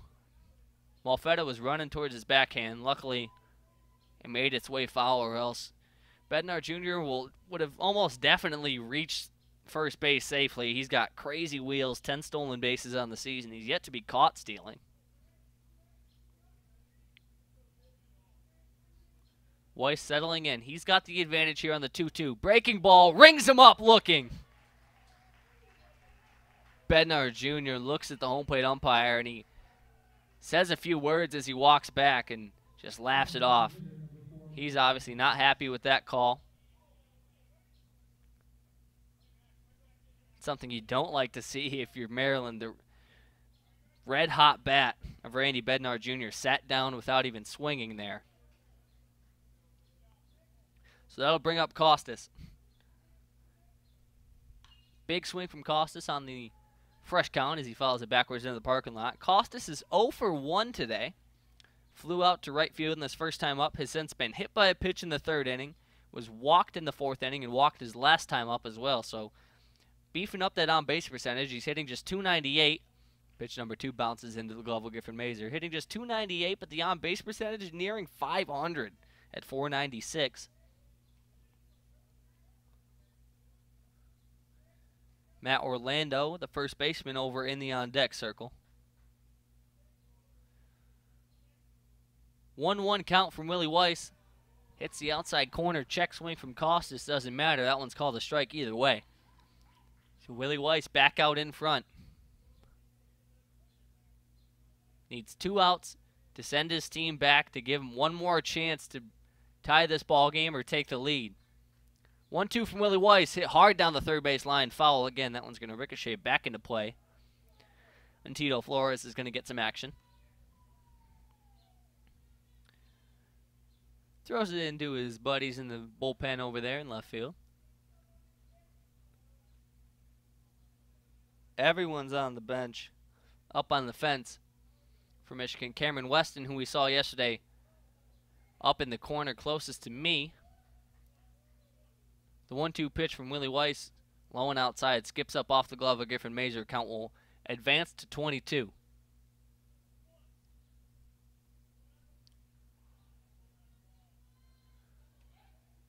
Two-two count on the way from Willie Weiss. looking for his fourth strikeout. On the outside corner, that one's called the ball. Costa started running down to first base. He thought that was ball four. Full count, one out, nobody on, as Willie Weiss struck out the last batter, Bednar Jr. The payoff pitch gets him on the inside corner. Two in a row struck out looking for Willie Weiss. And he's red hot here. His fourth strikeout in the past two innings. That'll bring up Matt Orlando. Orlando one for three. Single this first time up. Walked one other time for his only other time on base. First pitch to him, check swing, goes off the end of his bat for a foul ball.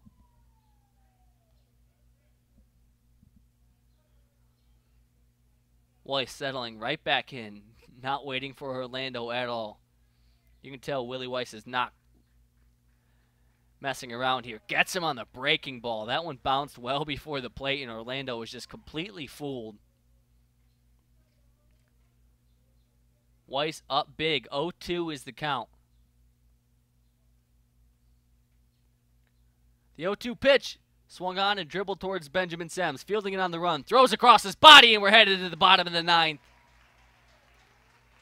After giving up all seven runs in the first four innings, Michigan has locked it down and kept Maryland scoreless for the last five. We're going to head to bottom nine. Michigan needs four runs to tie, five or more to win it.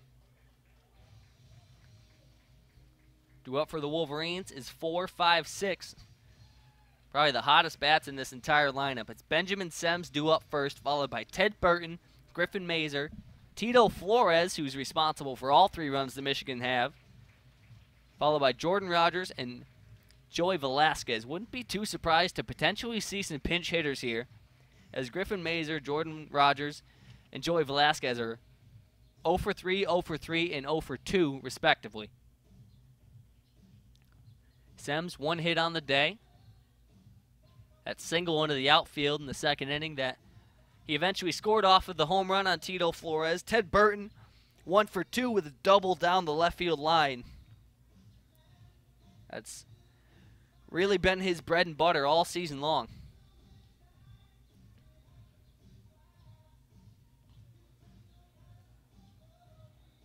Sems, the fifth year senior out of Kansas built for this moment. He's been playing baseball all his life. These are the moments you dream of.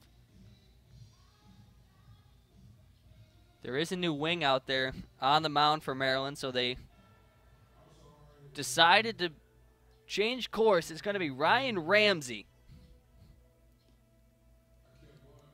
So Elliot Zollner gets the job done, and they're going to try to bring in the closer, Ryan Ramsey, a 1.95 ERA. 37 strikeouts and 27 and two thirds innings pitched. He's got a record of four and one. In those 27 and two thirds innings, he's only given up 20 hits. He's given up 10 runs. He can afford to give up one here, but can't afford to give up four or more. The throwdown from Vought, and we are set to go. The other night, in that Friday night thriller that Maryland eventually ended up taking home, Mar- or Michigan scored five runs in the bottom of the ninth inning to send it into extras. Do they have the magic here? Ryan Ramsey started that game on Friday. Michigan just didn't have any answers for him. They didn't score their first run until the seventh inning.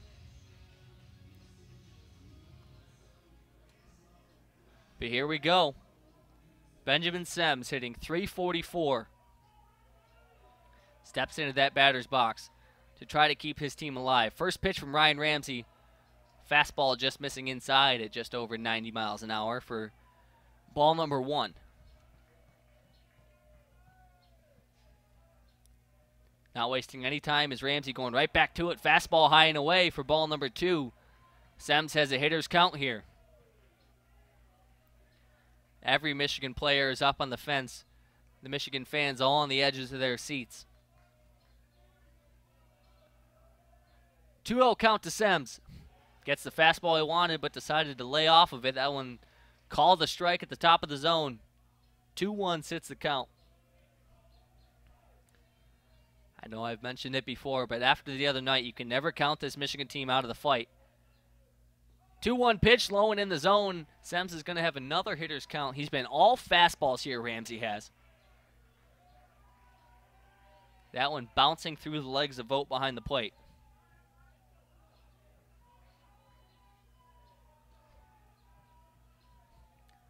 Sems with the 3 1.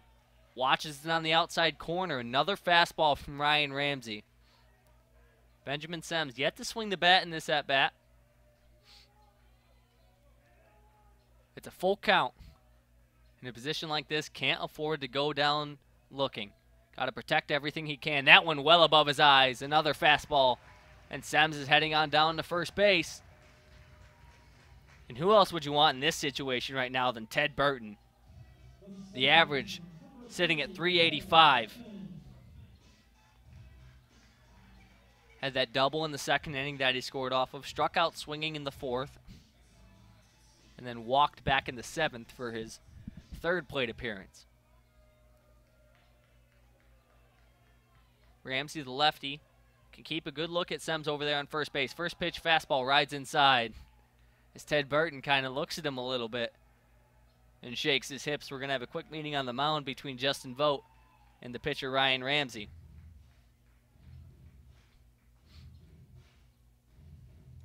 You can see just the personality and swagger of Ted Burton up there at the plate. We saw it yesterday. I mean, hit that double in his first time up. Next time up, he got hit in the head. And then first pitch he saw in the at bat after getting hit in the head was up by his eyes. He had to duck out of the way. You could see he was frustrated and then hit an absolute bomb over the left field wall. Kid's just built for baseball. He punches his bat and now settles in. 1 0 pitch on the way from Ramsey. Fastball and big swing from Ted Burton. We've seen nothing but fastballs from Ryan Ramsey here. Burton again settles in, punches the bat. Now gets into his stance. The bat over the right shoulder. The leg kick from Ramsey. The delivery to the plate. Another big swing from Burton. Can't connect. The count now 1 2.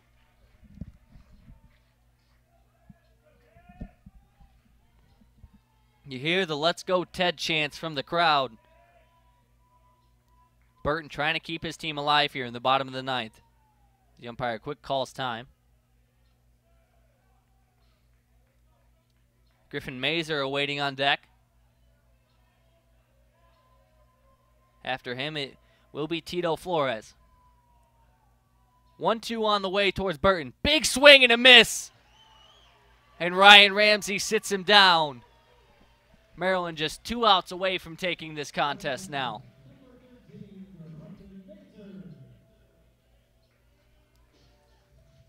Griffin Mazur stepping up to the plate now. 0 for 3 on the day. Struck out looking his last time up. Going to have to attack here with one out. Sems over there on first base. We've still seen nothing but fastballs from Ryan Ramsey. He chops this one on the ground towards shortstop. Flips it over to second. The throw across. And the double play to end it. Sems threw a hard slide down to try to break it up but the short or but the second baseman Shaw was not fooled. So Maryland puts on a show here. 7 to 3 is the final score. They got knocked around all night last night. And they came right back and punched Michigan in the mouth early. Put up 3 in the first inning, 1 in the third, 3 in the fourth. Michigan eventually shut them down. They went scoreless for the last 5, but those 7 runs in the four run gap. Just not enough for the Wolverines to come back to. That is going to do it for this one, as I said. Michigan still in second place in the Big Ten, but Maryland takes this series two to three. They won 11 to eight on Friday night in that 11 inning thriller. Michigan came back and went right at them yesterday winning that game 14 to 3 and then Maryland comes out and wins 7 to 3. Sean Burke The pitcher for Maryland is going to get the win. His record advances to 4 and 3. Jacob Denner is going to take the loss for this one. His record drops to 4 and 4. An unfortunate one on senior day, but an entertaining game all the way through.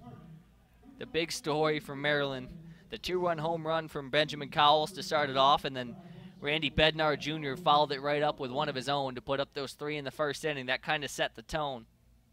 Offensive leaders for Michigan are Ted Burton had that double back in the second inning. Benjamin Sems had the single right before him, and Tito Flores with the three run homer to tally Michigan's only three runs.